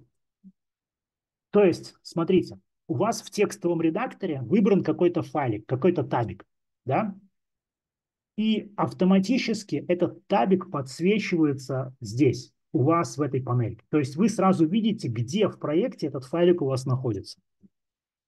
Мне кажется, что это удобная штука. То есть ты Весьма можешь, удобно. Да, ты можешь а, выбрать какой-нибудь другой табик в главном редакторе. Ну, любой другой, кликни. Не, не здесь, а в главном редакторе. В главном. Не, не, нет, вот справа, который у тебя. Да, вот здесь. Вот выбери наверху. Видишь, у тебя табики, наверху табики. Выбери любой другой. А теперь вернись опять в папочку. Оп, и он тебе, видишь, сразу подсветил, где этот файлик находится. Понял? Удобно, да. То есть ты можешь открыть, э, когда ты работаешь над, э, над программами, ты можешь открыть несколько файликов, они у тебя все будут в главном редакторе наверху как табики. Да? По-моему, идея там позволяет до 7-8 этих файлик, этих табиков держать. Ну, я не помню какое количество. Ну, короче, и потом ты перемещаешься по этим табикам, и если у тебя выбрана вот эта галочка, то у тебя автоматом подсвечивается, где находится этот файлик в структуре твоего проекта. Так, окей. Давайте пойдем дальше. Давайте пойдем дальше и поговорим а, про такую штуку, как а, про Java. где вообще здесь Java, да, то, что мы тут проект скачали, все у нас круто, но где сама Java? А, значит, в верхнем левом углу есть такие три, ну, такая решеточка. Сам еще выше, еще выше. Вот, да, кликни на нее. А это главная менюшка, и здесь выбери пунктик Project Structure она чуть ниже. Не-не-не, вот здесь, вот, да, да. Откроется вот такое вот диалоговое окошко, в котором можно настроить а, версию Java платформы, которую использует этот проект. Что значит версия платформы Java? А, Java это не просто язык программирования. Java это платформа разработки. А, она называется Software Development Kit, SDK. Видишь, вот этот второй, да, дропдаун, он называется SDK. Да. Если у кого-то здесь, в этом дропдауне, no SDK стоит, то вам нужно скачать а, 21-ю Java. А, давайте немножко про историю Java. А, Java – это платформа, которая выпускается, у нее сейчас релизы версии, версии платформы выпускаются каждые полгода. Это очень круто, потому что Java как платформа и как язык программирования, он постоянно дорабатывается. В него постоянно вносятся какие-то изменения, он постоянно улучшается. С точки зрения а, ну, как бы разработчика это очень классно. То есть в языке программирования и в платформе появляются новые, новые фичи. А сейчас версии Java, которые, которые есть, они, например, 21, 22, сейчас последняя, по-моему, 23 уже, да? Но наш проектик на 21 Java, он, он на 21 Java, так что поэтому здесь а, у, кого, у кого не выбрано No SDK, надо, добавить, надо сделать так, чтобы появилась 21 Java. Если, как это сделать, если у кого-то что-то нету, тут есть в этом дропдауне есть такая штучка Download GDK. Кликни туда. Да. И вот в этом диалоговом окошечке можно выбрать версию GDK, версию вот этого Java Development Kit, которую вы хотите скачать на собственный компьютер. То есть сейчас, а, чтобы скачать к себе Java платформу, все очень удобно. Вы просто открываете среду разработки и с помощью вот этого дропдауна выбираете нужную вам версию и нужного вам вендора. Все. Ну, у тебя по дефолту 21 стоит, тебе ничего не надо делать. Да, тебе можешь cancel и все. У кого тут ничего не стоит? Есть такие? Народ. Без SDK ничего работать не будет. Да, стоит 21. Отлично. То есть э, современная среда разработки автоматом там бомбит. Ну, у кого 23, ладно, пусть 23, но главное, что не ниже. Да, хорошо. А, окей. То есть здесь вот таким вот образом подключается к нашему проекту сама версия платформы Java. Что значит платформа Java? Что вообще в нее входит, чтобы вы понимали, что вы тут подключаете? А, значит, Java, язык программирования, это просто синтаксис, с помощью которого надо, с помощью которого создаются программы. Но одного синтаксиса мало. Нужны еще вокруг этого инструменты, а, например, для проверки этого синтаксиса. Что вы, что программист, например, написал программу корректно. Эта штука называется компилятор. Это специальный инструмент, который э, применяется после того, как программист написал программку в виде текста. Эта штука проверяет синтаксис программы и транслирует этот, этот текст программы в машинный код, ну, не совсем машинный, но, например, в байт-код, который понимает та же самая виртуальная машина Java. А Java-программы запускаются не как нативные приложения в операционной системе. Нет. Они запускаются внутри специального приложения, которое называется Java Virtual Machine, JVM. То есть программу, которую написали на Java, можно запустить внутри другой программки, которая называется Java Virtual Machine. А для чего это сделано? Для того, чтобы... Вот кто-нибудь слышал, что Java – это кроссплатформенный язык программирования?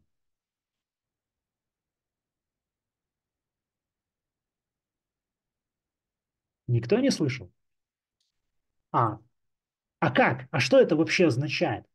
А это означает то, что у нас, ну вообще в мире существуют разные операционные системы. У кого-то стоит Windows, у кого-то стоит Mac, macOS, у кого-то стоит э, Unix, у кого-то стоит Linux, у кого-то стоит Ubuntu, у кого-то стоит еще черт знает что.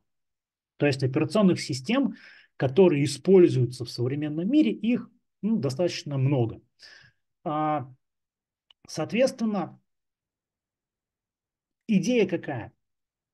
Вы можете написать программку, которую можно запустить на винде напрямую. Но эту программку на macOS вы уже не запустите, потому что, потому что у операционной системы совершенно другой, другие интерфейс. Эту программку на Linux напрямую вы не запустите, потому что а, у, у Linux, например, у операционной системы Linux совершенно другие интерфейсы, да, и ваша программа просто не сможет взаимодействовать с операционной системой. То есть она, потому что она написана только под винду. Ну вот. А Java а, изначально, с самого начала, а, была запланирована таким образом, чтобы являться кроссплатформенной средой разработки.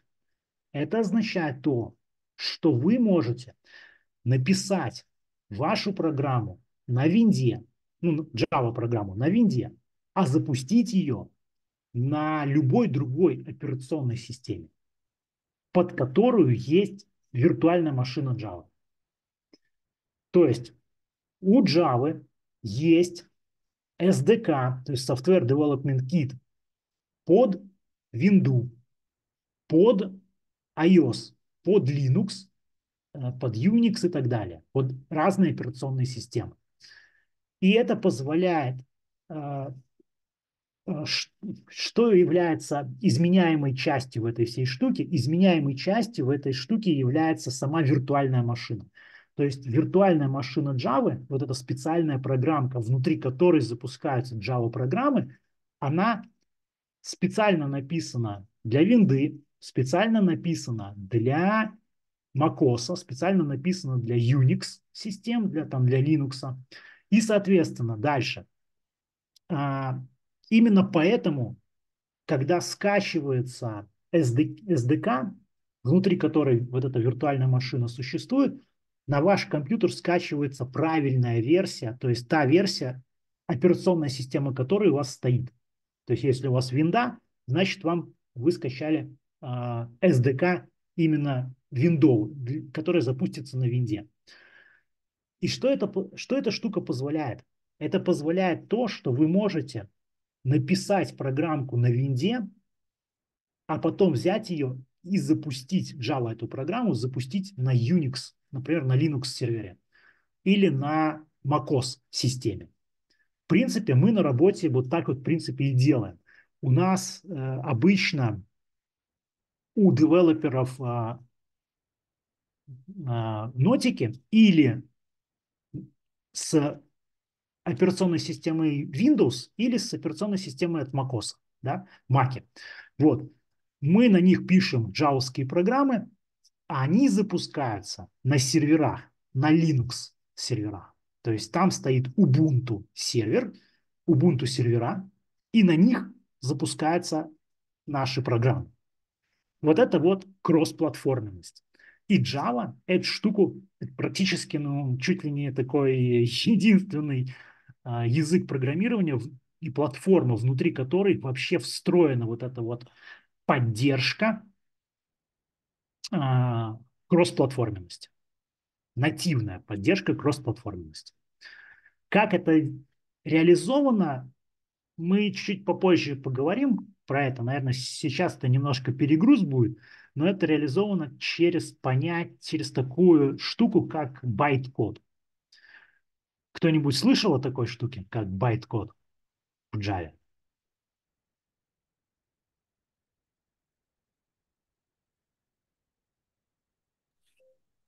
Нет, не слышал.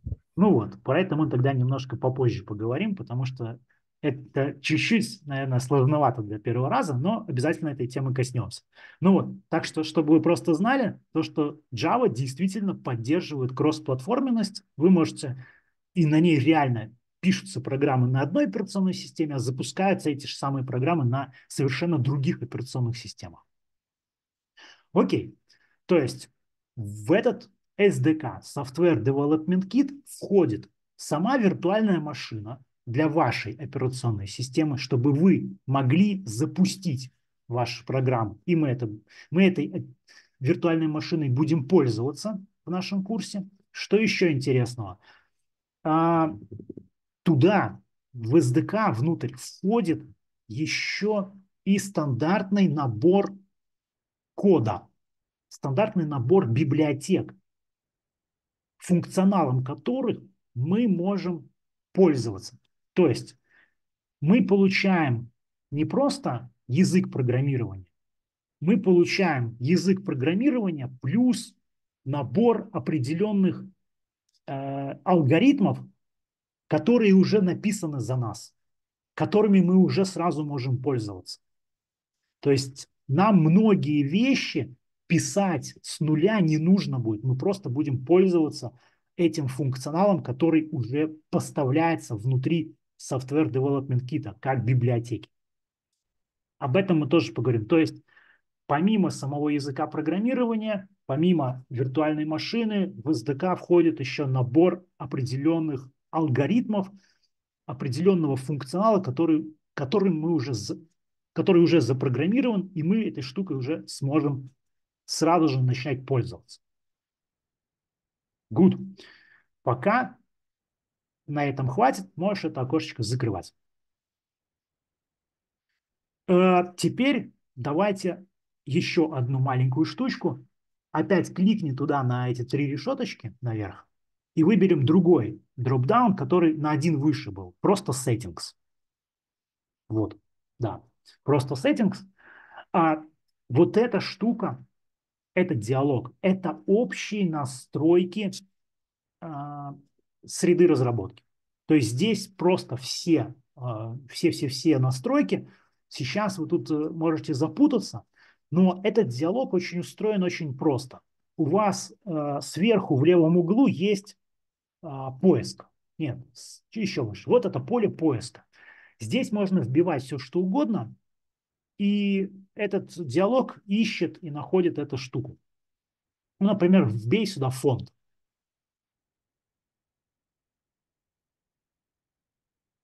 Да, фонд если вы хотите поменять а, размер шрифта в вашем текстовом редакторе, он может выбрать вместо 13 вбить туда какой-нибудь 20 или так далее. Да?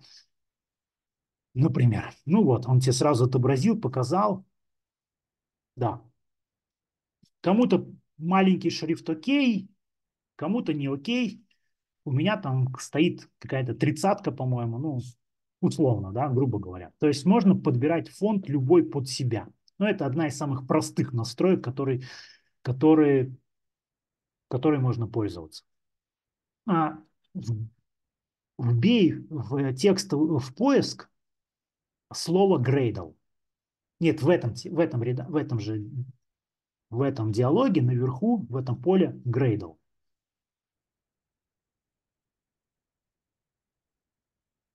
Не, не, что-то, что-то тут закру... Где именно? А, здесь? Вместо фонта, да, да, вбей в поиске Gradle. Да. А, и выбери вот внизу, вни, ниже, ниже, ниже, ниже, ниже, еще Build Tools Gradle. Вот это. Да, вот эту штуку. М? А, здесь, смотрите, проверьте то, что у вас в самом низу вот этого посерединке, который видите, Gradle GVM стоит 21 ваша JDK, SDK. Стоит, у тебя стоит, тебе ничего не надо менять, просто убедиться. И я вам советую поменять вот эти два дропдауна, которые чуть-чуть выше. Build and running, да, на идею, IntelliJ идея, и второй тоже на идею. Давайте я чуть-чуть про это расскажу. Что это такое? Значит, идея очень а, заключается в следующем джавовские проекты, они достаточно большие, и в них находится очень много файликов. То есть вот вы уже видите, что нас, нам предстоит работать с 12 занятиями, и сколько кода мы напишем. То есть каждый из вас напишет как минимум больше, чем сотню, сотню программок за все вот это время, если вы дойдете до конца курса. А это означает, что в наш проектик будет содержать там порядка тысячи файликов. И, соответственно, сборка этого проектика, работа с этим проектиком а, уже требует определенных инструментов, да, то есть с тысячью файликами уже не так просто а, работать будет. И для работы, для сборки вот этого, ну, для работы с таким большим, большими проектиками в программировании применяются специальные инструменты, которые называются а, build tools, то есть инструменты сборки. Условно, они могут скомпилировать а, наш проект, проверить синтаксис всех-всех-всех файликов, которые входят в наши проекты. Они могут а, запустить тесты, они могут а, собрать а, какой-нибудь артефакт, который можно задеплоить потом куда-нибудь на какой-нибудь сервер. В общем, сделать очень много интересных и полезных вещей. Соответственно, ну, значит, почему здесь вот в этих дропдаунах лучше поставить IntelliJ идею? Потому что для нашего простенького проектика проще собирать наш проект с помощью самой среды разработки, нежели через tool, э, через Gradle. Да? Поэтому здесь вот эти дропдауны я вам советую выбрать, э, поставить IntelliJ идею в обоих, и тогда просто запустить ваши программки и там тестировать их будет сама, вы будете это делать самой средой разработки, это будет э, ну, как бы проще, меньше всяких логов встретите. Ну, в общем, в общем, удобнее. Ну и, в общем-то, в этом диалоге все. Можно закрывать, нажать ОК и закрыть его. Все. А, так, все ли успели с настроечками проектика сделать?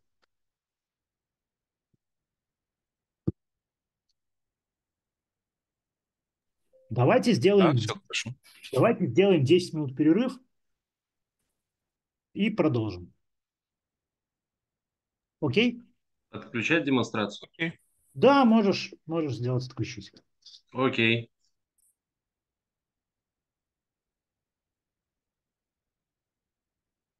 Тогда 10 минут перерыв и продолжаем.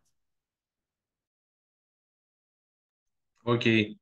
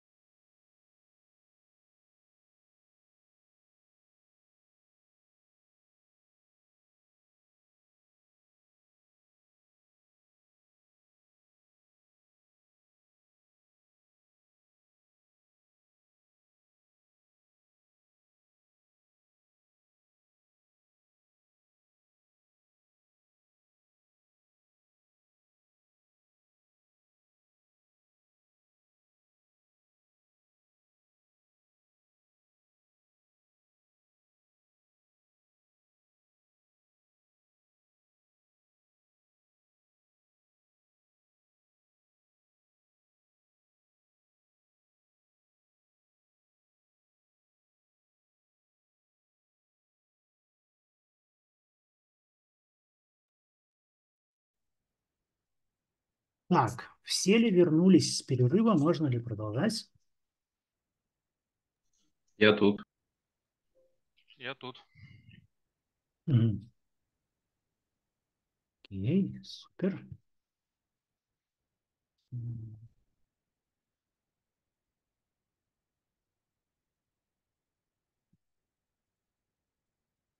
Хорошо. Так, да, поехали дальше. Давайте попробуем, пробуем запустить нашу первую программку на Java.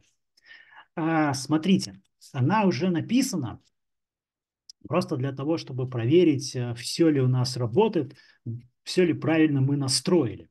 Значит, папочки ментор, а, папочке lesson 1 есть папочка lesson code. И внутри lesson кода лежит один файлик, который называется hello world. Можно туда кликнуть, и эта программка откроется у вас в текстовом редакторе посерединке. И она должна выглядеть вот примерно вот так вот. И главное, чтобы у вас слева на вот этой вот панельке были зелененькие треугольнички. У всех ли они есть? Есть. Есть. Есть. Если зелененькие треугольнички есть, то, в принципе, неважно на какой, а, можно на любой из них кликнуть и выбрать первый пунктик меню в этом треугольничке Run Hello World Main. Вот, выберите, кликните и посмотрим, что у вас будет.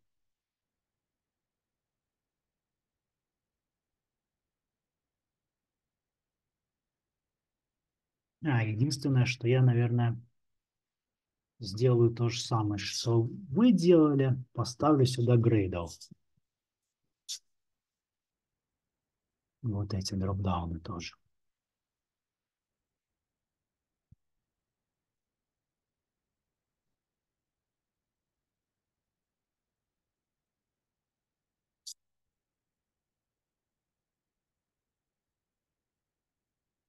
Так, увидели что-то похожее на вот это? Да. Окей, то есть смотрите, это самая простая, примитивная, маленькая Java программка, которую мы только что запустили. А, значит, что происходит в тот момент, когда мы а, нажимаем вот тот зелененький треугольничек и запускаем нашу программу? Значит, вы могли увидеть ну, это, наверное, так быстренько произошло. Первый раз у вас внизу, вот здесь, вот там какой-то прогресс-бар бежал. Да? А, первое, что делается, а, среда разработки запускает такой процесс, который называется компиляция. А, язык программирования Java – это компилируемый язык программирования. Что это означает? Это означает то, что ту программу, которую вы написали, которую вы будете писать на Java, которая выглядит как текст, который перед вами, а, перед тем, как вообще ее запустить, а, эта программа подвергается процессу компиляции. Значит, суть его заключается в следующем. Давайте я вам нарисую. То есть, вот у нас есть текстовые файлики, я их обозначу буковкой Т, значит, текстовые файлики, в которых находится наша программка. Если э, вы посмотрите в, э, в Explorer, в своей в операционной системе, вы увидите, что у этих файликов есть расширение .java.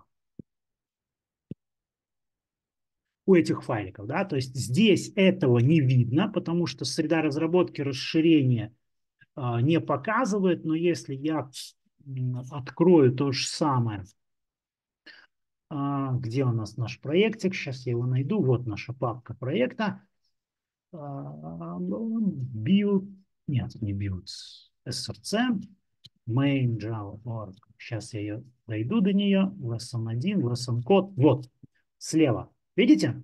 Мой файлик hello world, у него расширение .java. А, то есть джавовские программки, код джавовских программок, которые мы будем писать, он находится, он будет располагаться в файликах, которые у вас на жестком диске будут иметь расширение .java. Значит, когда мы запускаем нашу программку, происходит маленький magic.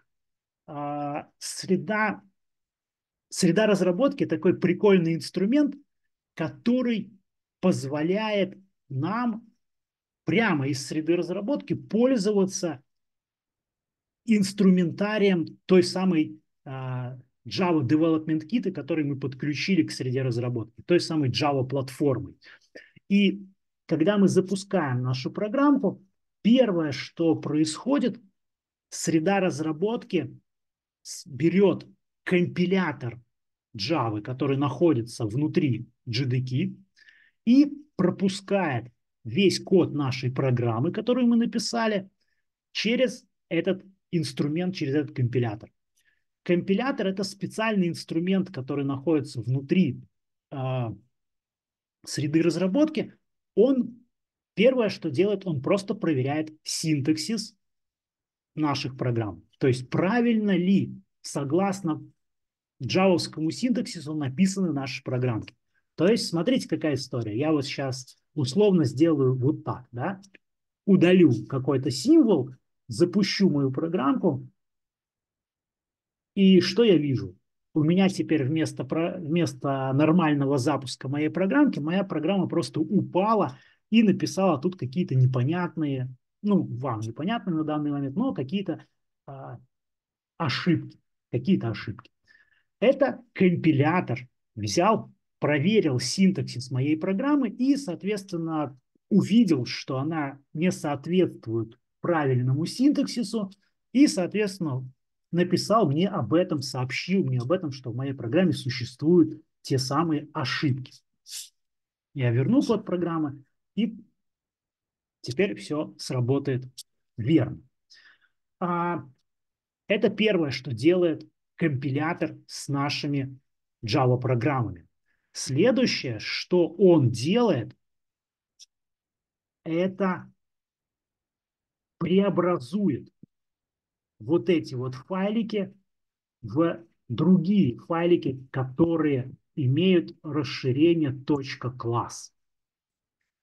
А, и вот эта вот штука, то есть те же самые файлики с нашими программами, которые имели расширение .java, превращаются в файлики, которые имеют расширение .class. Вот эта штука называется байт-кодом. Вот это. Что такое байт-код? А, то есть, давайте мы его найдем и пока что покажем. То есть, вот это. Это просто текст нашей программы. А байт-код, вот мы сейчас его увидим, чтобы вы прочувствовали разницу. А, наверное, можно здесь. Вот. Вот байткод. Этого же, этого же фай, этого же классика, этого же, этой же программки, только э, уже совсем непонятном, э, в непонятном синтаксисе. А зачем нужен байткод в Java? Как раз благодаря вот этому байткоду, вот этому мэджику, и Java платформа поддерживает понятие кроссплатформенности. То есть любую программу на Java, которая написана со, соответственно синтаксису Java, можно преобразовать в байткод. Байткод – это какой-то внутренний э, синтаксис, э, внутренний, внутреннее представление, можете так сказать, внутреннее представление Java программ. Внутреннее представление для кого? для той самой Java Virtual Machine. То есть процесс запуска Java программ проис... буквально происходит следующее. То есть первое, что делается, это преобразуются наши программы из текстовых файликов в байткод, а потом вот этот байткод подается на вашей операционной системе. Запускается виртуальная машина Java, как отдельная программка, и на вход этой программки подается вот этот вот байткод. А, и ваша GVM начинает выполнять эту программку, которая находится в этом байткоде. Вот так происходит. Самый magic заключается в том, что вот этот вот байткод, он платформенно независимый. То есть это специальный формат, который использует Java. То есть вы можете этот байткод подать как на вход виртуальной машины, которая для винды предназначена. То есть если, например, у вас э, операционная система Windows, то вы можете ваш байткод подать на вход а, GVM, который ну, вашему родному GVM, который для винды сделаны. Вы можете сделать, а, вы можете взять другую операционную систему, а взять другую виртуальную машину, ну, виртуальную машину, заточенную под нее, например, Unix, Linux какую-нибудь виртуальную машину или MacOS, да, Mac. А, взять, подать на вход тот же самый байткод, то есть вы можете взять этот байткод, перенести на другую операционную систему и там запустить на виртуальной машине, которая предназначена для той операционной системы. Вот так вот Java поддерживает кроссплатформенность. То есть процесс компиляции программы превращает а, текст, текстовые программы Java, которые написаны в виде текста, превращает их в специальный формат, который называется байткод, и потом этот байткод вы можете подать на вход в любой из виртуальных машин в соответствии с той операционной системой, где вы хотите запустить ее, эту программу. Вот весь magic кроссплатформенности у Java. Он вот в этом вот формате заключается. В байт, этот формат называется байт-код. Как вам, прикольно? Штука. Весьма интересно. Да, байт-код. А, окей, с этим разобрались. Так вот, когда мы нажимаем зелененький треугольничек, виртуаль... Э, наша среда разработки, во-первых, компилирует нашу программу, во-вторых, берет а, виртуальную машину, которая находится в той SDK, которую мы подключили, и подает ей на вход вот этот откомпилированный, откомпилированную нашу программку в виде байт-кода, подает ей на вход, и она ее, и виртуальная машина запускает ее, и виртуальная машина выполняет нашу программу. Вот что под капотом происходит, когда вы кликаете на этот зелененький треугольничек. И результаты работы нашей программки появляются вот в этом диалоговом окошечке, которое всплывает снизу у вас в среде разработки. Ну, у этого диалогового окошечка есть точно такие же инструментарий.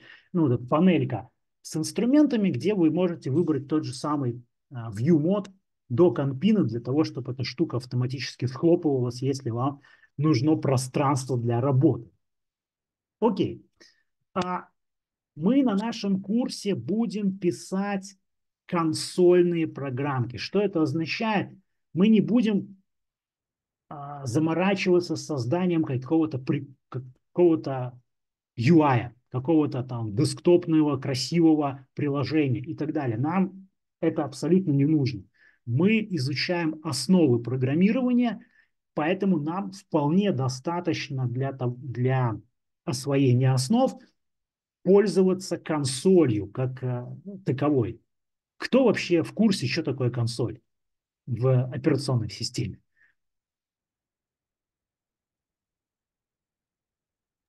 Только с играми можно сравнить, там консоль присутствует. Ну, очень-очень похожая идея. То есть в операционной системе консолькой называется вот такой вот черненькое окошечко, да, в которой можно, э, в, которой, в которую можно вывести какой-то текст и из которого можно запросить э, э, какой-то текст, если пользователь тут может тоже, если программа что-то требует, то пользователь тут тоже может что-то в виде текста впихать. Да? То есть, в принципе, эта консолька – это вот э, такой текстовый форматик, где э, можно что-то в виде текста напечатать, можно э, результат да, в виде текста, можно какие-то данные, опять же, у пользователя запросить в таком же формате. Все.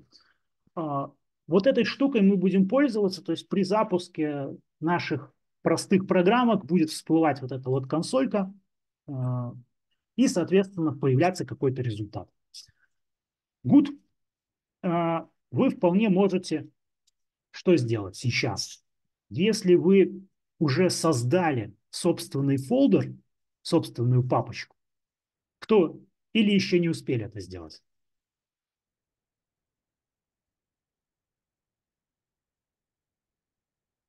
Если не успели, то как раз самое время это сделать, потому что вы сейчас можете взять и перенести вот этот файлик, ну, то есть скопировать его в свой фолдер для того, чтобы в нем произвести какие-то изменения. Вот. А не меняйте ничего в папочке ментора и в папочке в будущем других а, ребят, которые будут заниматься на курсе, потому что это ну, как бы неприятно, как все равно вас найдут, грубо говоря, потому что когда вы будете коммитить все на GitHub, будет видно, от какого пользователя это делается, и, соответственно, ну, скрыт, скры, ну, как бы скрытно произвести какие-то изменения в проекте, который, который управляется системой контроля версий, не получится. Да? Только на локальном компьютере можно все испортить себе. А так, если вы работаете в собственной папочке, все круто, никто обижаться ни на кого не будет. Good. Если вы не создали папочку, то вы можете это сделать. Опять же, повторюсь, это всплывающая менюшка на вот этом вот пакете, на главном пакете New Package. И даете student, нижнее подчеркивание, там first name, нижнее подчеркивание, last name. И после этого просто enter. Появится ваша папочка, в которой вы можете, опять же, создать структуру lesson 1, lesson 2 на будущее. И если вы создали, вы можете взять, скопировать этот файлик, копия, перенести его в свою директорию lesson 1 и сделать paste.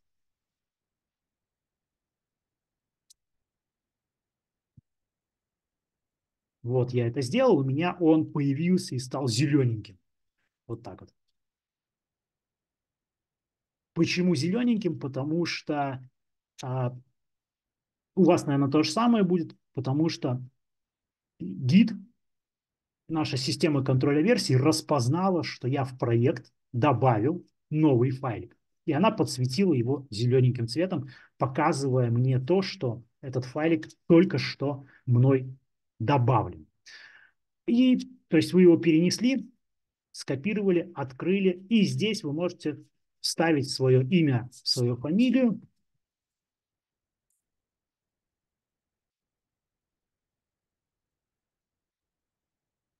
изменить и запустить этот файл.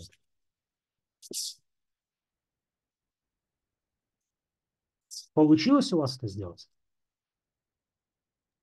У меня получилось. Отлично.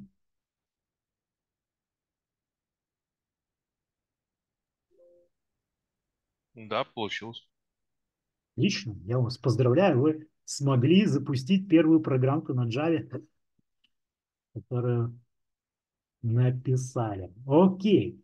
Давайте чуть-чуть поговорим про то, что мы тут видим. А, что это за программка, что тут за элементы. Непонятно вообще, наверное, ничего, но а, сейчас попытаемся чуть-чуть пролить свет на то, на тот синтаксис э, Java программы, который э, Java использует. Значит, э, во-первых, давайте поговорим вот про вот эту штуку, про понятие пакета в Java. Да? Идея очень простая. Пакет – это способ э, структурировать программки на Java. То есть идея очень простая. Так как Java программки состоят из большого количества файликов, а, их как-то нужно сортировать. Ну, это то же самое, что приехал с отпуска, с фотика сливаешь, э, с камеры сливаешь э, куча фоток, у тебя там сотни фоток в одной, в одной папке, ничего неудобно, да? Ты такой создаешь или по дням, или по местам, где ты был, с папочки рассортировываешь эти файлики, э, фотики, фотки, и уже появляется какая-то структура. У пакетов и в Java идея абсолютно точно такая же. А, пакеты в Java, соответственно, вот они. Они есть. Как они выглядят? Они начинаются от э, папочки Java, вот пап, пакет org, точка Java Guru, потом, например, ментор, ну или не ментор, вот пакет Java Guru, потом студент Вася Пупкин, lesson 1, и вот тут файлик. Вот, значит, этот файлик лежит, этот классик лежит вот в этом пакете. А пакеты разделены точечками. То есть не, не слэшиками, ничего, а в Java принято разделять пакеты точками. Далее, что такое класс? А, идея заключается в том, что Java – это объектно-ориентированный язык программирования. Кто, такой, кто слышал что-то что-то про объектно-ориентированный язык программирования?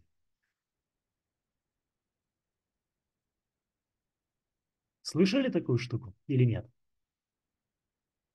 Похоже, что нет. Похоже, что нет. А идея заключается в следующем.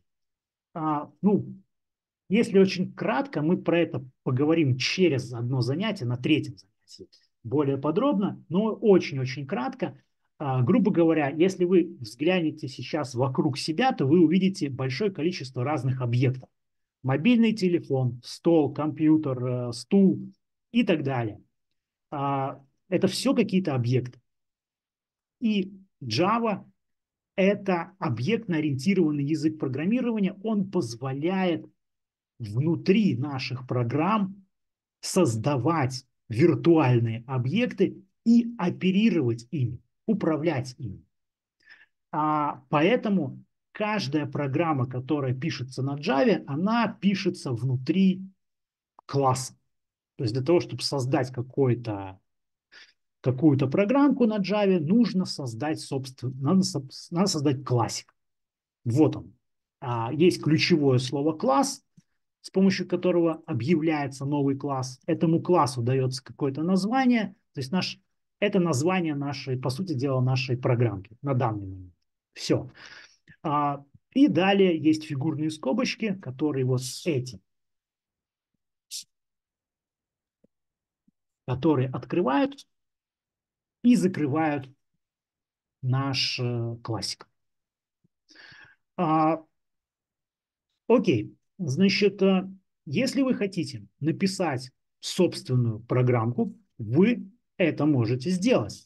Каким образом? Вы можете взять свой пакет Lesson 1, кликнуть сюда всплывающее менюшка, New и выбрать Java класс. Вот эту штуку. Нажать Enter. У вас появится диалоговое окошко, где вам предложат ввести название вашего класса. Ну, например,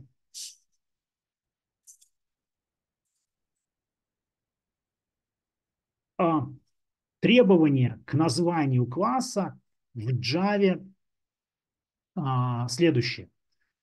Это должен быть какой-то текст а, без пробелов, первая буква заглавная. И если ваше название состоит из нескольких слов, то можете использовать camel case нотацию, то есть каждое новое слово начинать с большой буквы для того, чтобы более удобно было читать такую, ну, название, которое состоит из нескольких э, слов. как, вы, как только вы набрали какое-то название, придумали название, набрали его, можете нажать Enter, и Java создаст вам эту программку. Сейчас я значит, очень быстренько это сделал. Значит, вот, у вас появилось вот такое же окошечко, правильно? Похоже. Да, конечно. Ага. Что эта штука означает? Эта штука означает следующее. То есть мы в проект вносим какие-то изменения. Ну, грубо говоря, добавляем новый файлик с нашей программы. А, потому что каждый класс, он, в принципе, сохраняется в новом файлике на жестком диске. А, а так как наш проект под управлением гита, под управлением version control системы Git, гид сразу увидел, о, вы тут пытаетесь добавить новый файлик, которого у меня еще нету. И он спрашивает нас, хотим мы этот файлик добавить под управление системы контроля версии Git. Вы можете поставить здесь галочку do not ask again и сказать add добавить. Да. То есть, если вы в будущем планируете этот файлик закинуть на GitHub сервер, на удаленный сервер, то вам этот файлик нужно добавлять в Git. Если вы этого не сделаете, то вы этот файлик, а, этот классик не сможете закинуть на GitHub в наш глобальный репозиторий. Ну, поэтому здесь обычно нажимаем «Добавить», и вот наша программка, наш классик перед вами. А, что у этого программки есть. У нее есть ключевое слово класс, ну, паблик можно сейчас удалить, пока не будем про это говорить. Просто ключевое слово класс, которое означает, что это какой-то класс э, в Java. У нее есть название, которое мы дали, и у нее есть фигурные скобочки, открывающие и закрывающие, внутри которых находится так называемое тело нашего класса. Внутри этого тела мы что-то будем писать. Дальше. А теперь давайте поговорим про... Так, это пока понятно? Да, понятно. Good. Давайте поговорим про вот эту штуку. Что это такое? Ну, тут надо сказать та- а, такую вещь, что... А вот что такое вообще программа? Просто программа. Как, как вы думаете, что такое программа?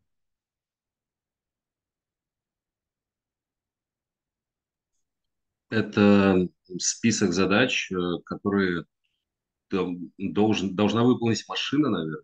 Так можно выразиться? Ну да, почти, почти, почти верно. Это список каких-то команд, набор каких-то команд, да. А эти команды выстраиваются в какой-то последовательности, да. То есть есть какая-то последовательность команд, которую машина должна выполнить при запуске этой программы.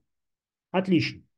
А что должно быть у этой, у этой программы? У этой программы должна быть так называемая точка входа. То есть оттуда, то есть где-то должно быть начало этой программы. Правильно? То есть эта программа должна где-то начинаться и где-то заканчиваться. А, так вот, вот эта точка входа для Java программы а, это вот этот вот магический магическая конструкция, которую я сейчас, вот это я удалю, которая выглядит вот так. Это условно, это специальный метод. То, что такое метод, мы еще не знаем, мы узнаем немножко под, под, подальше в курсе, но для того, чтобы, смотрите, как только в нашей программе появляется вот эта магическая конструкция, вот если ее нету, Никаких зеленых треугольничков, ничего нет. Такую программку запустить нельзя. А как только мы добавляем внутрь нашего класса вот эту магическую конструкцию, которая выглядит вот так, появляются зеленые треугольнички. Это означает, что в нашей программе появилась э, входная точка. Та точка, с которой наша программа может начинать будет начинать выполнение, если ее запустить. И эта специальная точка называется, вот, имеет такой синтаксис, там magic конструкция, public static void main, круглые скобочки, какие-то тут параметры и вот это вот фигурные скобки. Давайте мы пока не будем вдаваться в подробности, что каждый из этих слов означает. Чуть-чуть подальше в курсе мы немножко мы узнаем, что такое методы, и тогда мы сможем поговорить более подробно про каждую, каждое из этих названий, и мы будем понимать, что эта штука означает. Но на данный момент, на данный момент нужно просто понимать, что если мы хотим, чтобы наша программа запускалась, мы должны добавить э, в, внутрь нашего классика вот такую вот конструкцию. Ее можно просто скопировать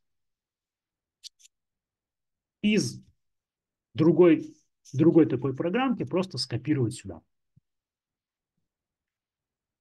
Идея понятна? Главное, чтобы синтаксис был точно такой. Вот такая конструкция, плюс вот эта фигурная скобка открывается, и фигурная скобочка закрывается. И внутри вот эта специальная точка входа, это специальный метод, внутри этого метода, вот здесь, в теле этого метода, мы будем писать наши программы. А здесь, внутри вот этой вот конструкции, будут находиться те самые команды, из которых будет состоять наша программа. И, например, здесь, в нашей старой, в первой нашей программке, здесь есть две команды, которые я просто сюда же скопирую и вставлю в, именно внутрь вот этого main метода. Их нельзя вставлять, например, сюда. Да, вот так это работать не будет. Вот эти команды должны находиться внутри нашего main метода. Внутри вот этих вот фигурных скобочек. Вот этой и вот этой. А вот мы их вставили сюда. Что это за команды? Это вывод на консоль. System out println – это магическая конструкция, которая позволяет вывести вам вот этот вот, вот этот вот текст на консоль. То есть если вы этот текст измените и запустите вашу программку, вы увидите этот текст на консоли. Видите? Вот он. То есть вот эта магическая команда system.out.println фигурных, в круглых скобочках а, указывается вот этот вот текст, выводит этот текст на консоль. Вот эта вот строка, то есть строки в Java, то есть если мы хотим в Java работать с каким-то текстом, любым текстом, мы его можем представить в виде строки и обрамленными дву, двумя кавычками. Двойной кавычкой слева и двойной кавычкой справа. И, соответственно, если мы таких команд мы можем эта команда заканчивается, вот, например, команда заканчивается в конце точкой с запятой по синтаксису Java. И таких команд, которые печатают что-то на консоль, можно напечатать, вставить сколько угодно. То есть наша программа будет состоять из нескольких таких команд. Вот вам алгоритм понятие нашего алгоритма. То есть наша программа состоит из каких-то команд. И э, так как точкой входа является вот этот вот main метод в Java, то программа, когда запускается, она начинает выполняться с первой команды, которая есть, находится внутри вот этого main метода. А первая команда это вот эта. И программа выполняется следующим образом.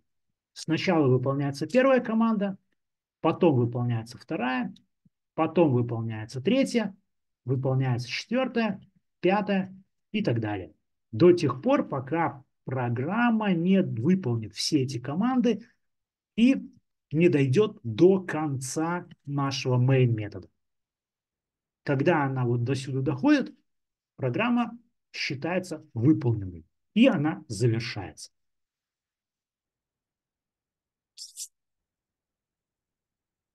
И вот мы вставили несколько распечатанных строк, мы запустили программу и видим, что вот они у нас на консоль, все, как они тут были, так они и распечатались в таком же порядке, точно так, как мы их вставили в нашу программу.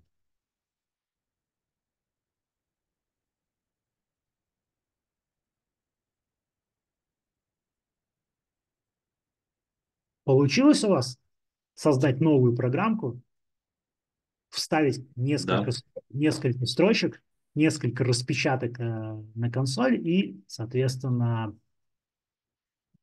соответственно, запустить ее и посмотреть результат.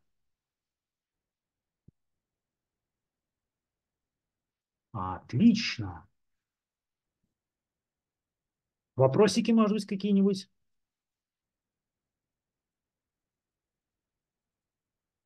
Вот эта скобка фигурная, которая э, содержит в себе внутреннюю основу, эм, у вас она немножечко отстает от края, у меня она максимально влево. Это не играет роли, я так понимаю, потому что программа все равно...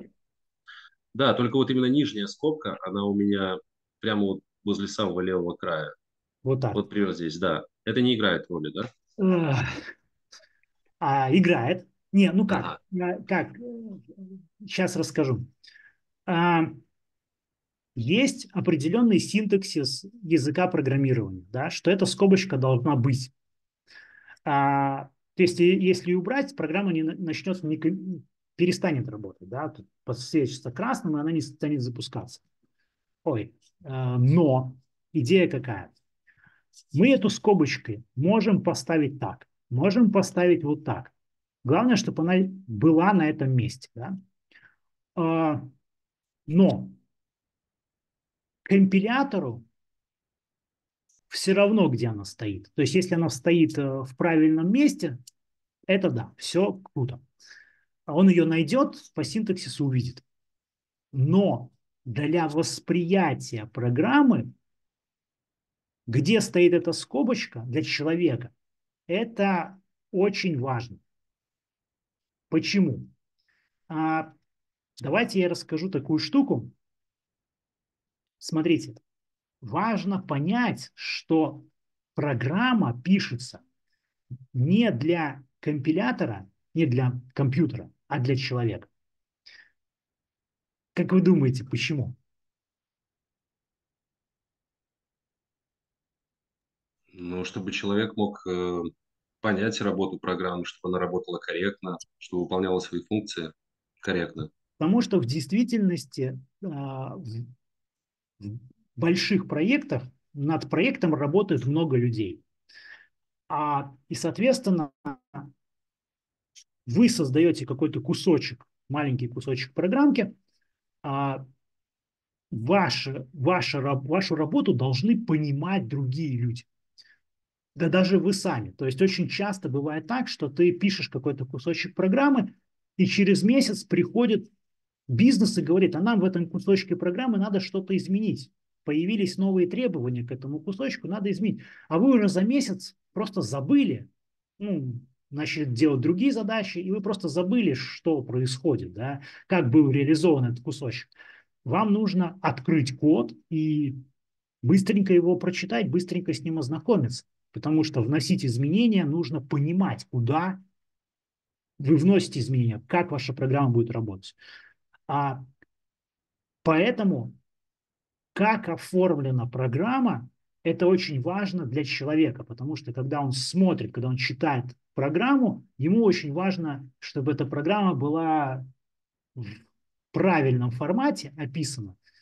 А тогда ему будет очень просто воспринимать это. Теперь смотрите, какая вещь. А, давайте я вот это вот уберу. У вас есть открывающая фигурная скобка, закрывающая фигурная скобка, вот это – это границы класса.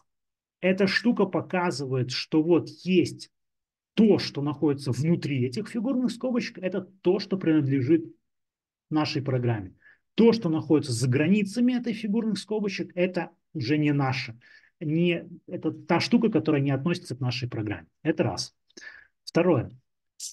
Когда мы то же самое вставили внутрь main метод, вот эту вот эту конструкцию, у этой конструкции есть тоже, видите, открывающая скобка и закрывающая скобка.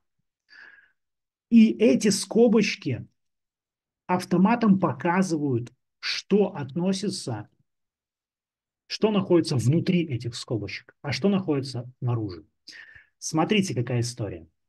Прослеживаете разницу? Вот у меня, у меня есть вот эта скобочка, и все, что находится внутри, здесь есть отступ. У меня программа написана не так. Посмотрите, как воспринимается программа, если она вот так написана.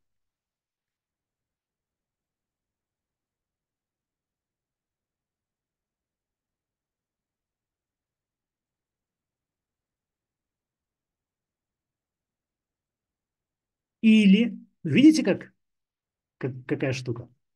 Ничего не понятно, да? Сплошной текст, сплошной текст. А если у меня вот так,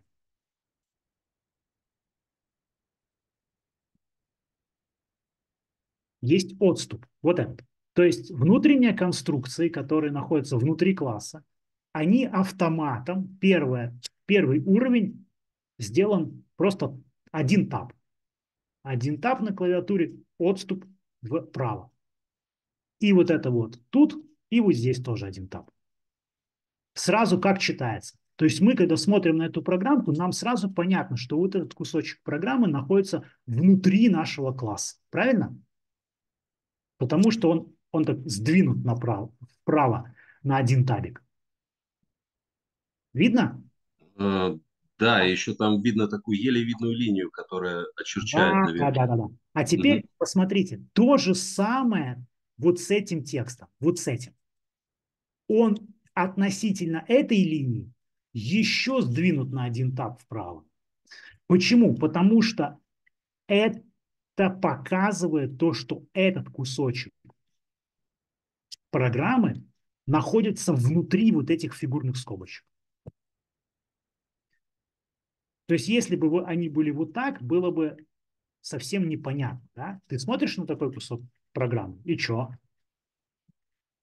Как это воспринимается? Вот эта штука воспринимается как один сплошной текст. Вот так.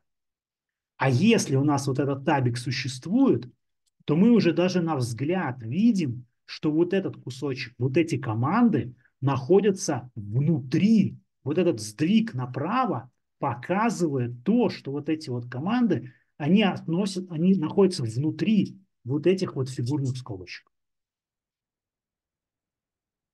И восприятие программы совершенно меняется. То есть идея какая? Как только появляются фигурные скобочки, которые показывают э, границы, границы класса или границы, например, метода, то код, который находится внутри этих фигурных скобочек, относительно этих фигурных скобочек сдвинут на один тап вправо. Окей? С этим понятно. А что касается пропущенных строк, это играет роль? вот эти вот, вот эти пустые строки абсолютно не играют никакой роли. Понятно. То есть это не, они не относятся к синтаксису программы, то есть когда, они, когда программа компилируется, компилятор их просто выкидывает. Ну, конечно, желательно там вот так вот не делать, это опять ухудшает восприятие человеком, да, то есть желательно вот между конструкциями оставлять вот эти вот по одной пустой строчке, чтобы их друг от друга отделить. Да, например. Это улучшает просто восприятие. Когда ты смотришь на это, это все не смешивается в одну какую-то сплошную штуку, а хотя бы есть такой, ну, для человека есть такой пробельчик. Вот. Понятно. Окей, еще вопросики?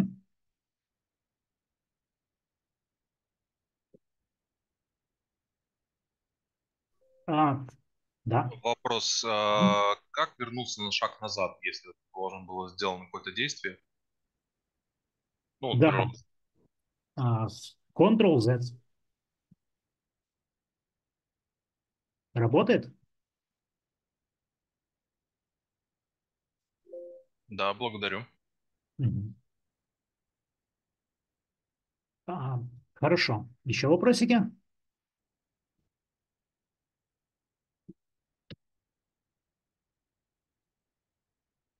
Пока нету. О, Хорошо, давайте я очень...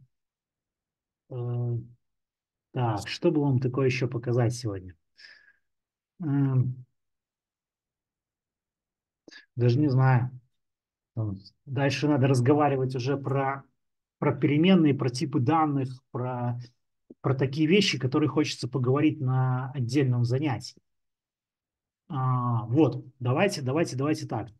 Смотрите, а, что дальше? Значит, а, после этого занятия запись мы, как всегда, будем публиковать а, в нашем канале. Ну, сделается запись, завтра я выложу ее а, на YouTube и пришлю линки а, в наши чаты. Соответственно, делаем следующее. До следующего вторника а, каждый думает, хочет ли продолжать этот курс и пишет, соответственно, отвечает или на e-mail, или пиш- или пишет мне в личку сообщение о том, что если вы принимаете решение, окей, хотите продолжать, значит, продолжайте. Значит, для тех, кто про- продолжает, мы сделаем отдельную, отдельную группу, там останутся только те, кто продолжает курс. Соответственно, мы там будем, будет там вся переписка, все вопросы, все записи лекций, э, все, весь суппорт, который, который мы в течение курса отвечаем на вопросы, все такое, будет, будем использовать отдельный чат. А, Дальше. Те, кто продолжает, вам нужно будет до следующего занятия сделать аккаунт на сайте GitHub. Создать себе аккаунт. Это сделать очень просто. Там нужно только e-mail, да, собственный, э, какой-то почтовый ящик. Соответственно, создаете себе гитхабовский аккаунт, регистрируетесь на этом сайте.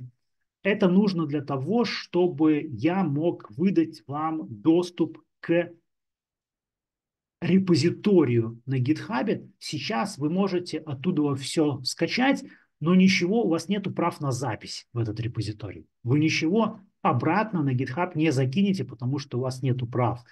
А, Соответственно, те, кто продолжает, они получают права на запись. Этот репозиторий а, в следующий вторник он перестает быть публичным, он станет приватным. То есть его никто не будет видеть, кроме тех, кто получит к нему доступ.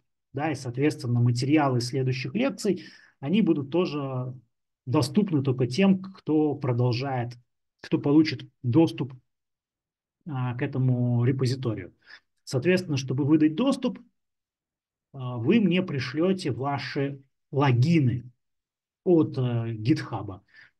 А, Соответственно, по логинам я смогу выдать вам доступ к этому репозиторию, и тогда от GitHub к вам придет на e-mail, на тот e-mail, на который вы зарегистр... с которым вы зарегистрируетесь, вам придет письмо от GitHub, вы подтвердите в нем получение доступа, и тогда вы сможете спокойненько а, видеть репозиторий, а,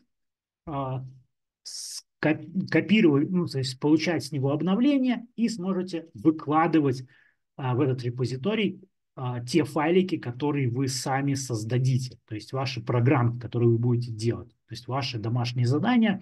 И то, как это делать, мы разберем на следующем занятии. А, Это делается тоже достаточно просто через среду разработки. Очень быстренько можно эти изменения а, закидывать на GitHub. А, Ну и мы в следующую среду продолжаем в это же время. а, Продолжаем наш курс. У нас а, следующая лекция – это про переменные типы данных. Ну и дальше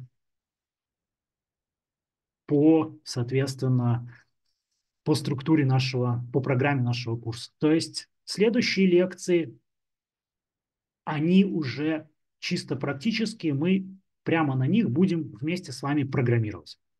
Писать программки. Сегодня мы настроили нашу среду разработки, настроили инструментарий, а, который нам нужен.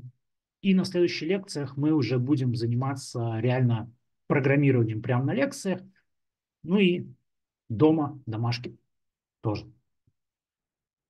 Вот. А те, кто хочет чуть пойти вперед, э, тут есть вторая лекция, к ней есть... А,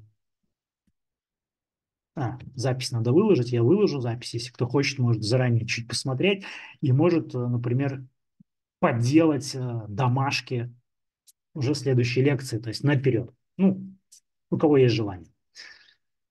А, ну, такая вот процедура, как говорится.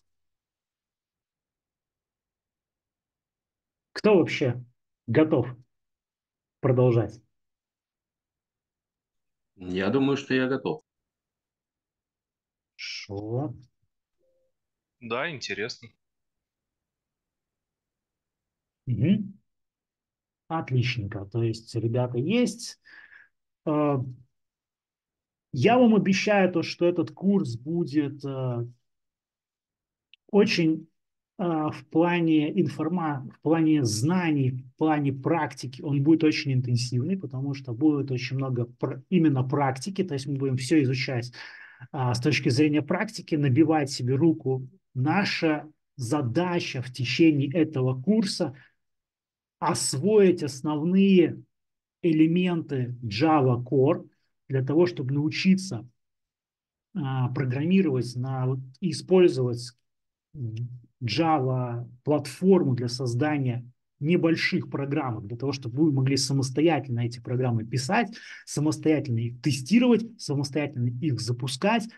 А, и, соответственно, подготовить вот этот вот фундамент, а, фундаментальные знания, то есть практические, именно практические знания для того, чтобы а, можно было после этого курса начать изучение а, всяких библиотек, всяких архитектурных моментов и так далее, то есть инструментов, которые, с помощью которых создаются те самые Java backend приложения, а, которые крутятся на вот тех же самых серверах в дата-центрах. Да? А, это, то есть этот курс, он полностью готовит а, человека к той самой виртуальной стажировке Java. Это тот второй курс, который, который у нас есть.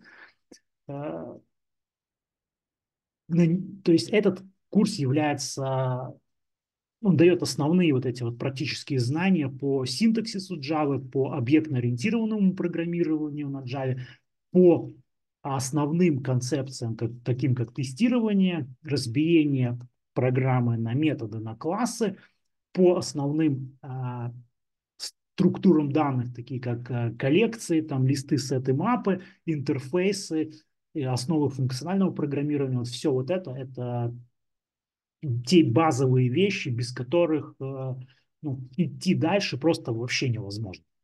Да, то есть вот наша цель – это то, чтобы в конце курса вы самостоятельно писали небольшие программки на Java, тестировали их, запускали и понимали, как они вообще работают, а, и были готовы к более прикольным э, вещам, более сложным вещам, такие как создание enterprise приложений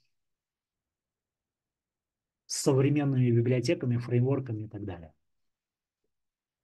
Вот такая вот у нас цель этого курса. Звучит интересно. Да. Как я уже говорил, то есть те, кто вообще начинает с нуля, тот, кто не программировал, не имел дела с ни с одним языком программирования, как говорится, надо попробовать. А, вы попробуете, и вы очень быстренько поймете, нравится вам эта штука, нравится, потому что буквально через 3-4 занятия вы уже будете понимать, что такое программирование, с чем программисты имеют дело, а, как, это, как эти программы создаются, а, как они выглядят. Ну, этот весь процесс вы уже плюс-минус будете понимать где-то, ну, вот, вот, к шестой лекции, когда тестировать будем, основы тестирования будем изучать, то уже тут и объектики чуть-чуть будете знать, и методы будете знать, и юнит-тестики уже чуть-чуть будете писать, то есть уже, уже такое понимание будет, должно будет прийти, появиться, да. Ну вот, так что вот такая у нас программка. Окей. Какие-нибудь вопросики? Или на сегодня заканчиваем?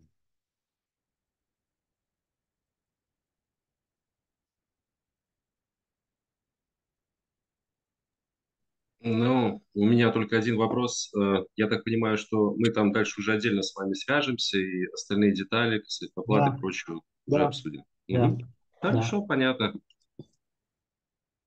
Я всю информацию пришлю в чаты, то есть завтра сделаю записи, выложу запись этой лекции для того, чтобы она просто сохранилась, и а, всю информацию пришлю в чаты.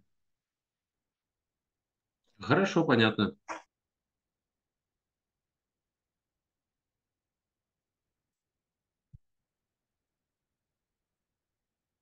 Ну, тогда большое-большое спасибо вам за занятие. Было интересно. А, Очень хочу, чтобы вы продолжили. Ну, посмотрим. А, Большое есть, спасибо вам. Было Да. очень интересно. Тогда до встречи на следующем занятии. Готовьтесь э, к погружению в программирование реально. Спасибо, до встречи. Всем хорошего вечера. Пока-пока. Все, спасибо большое. Спасибо, всего доброго.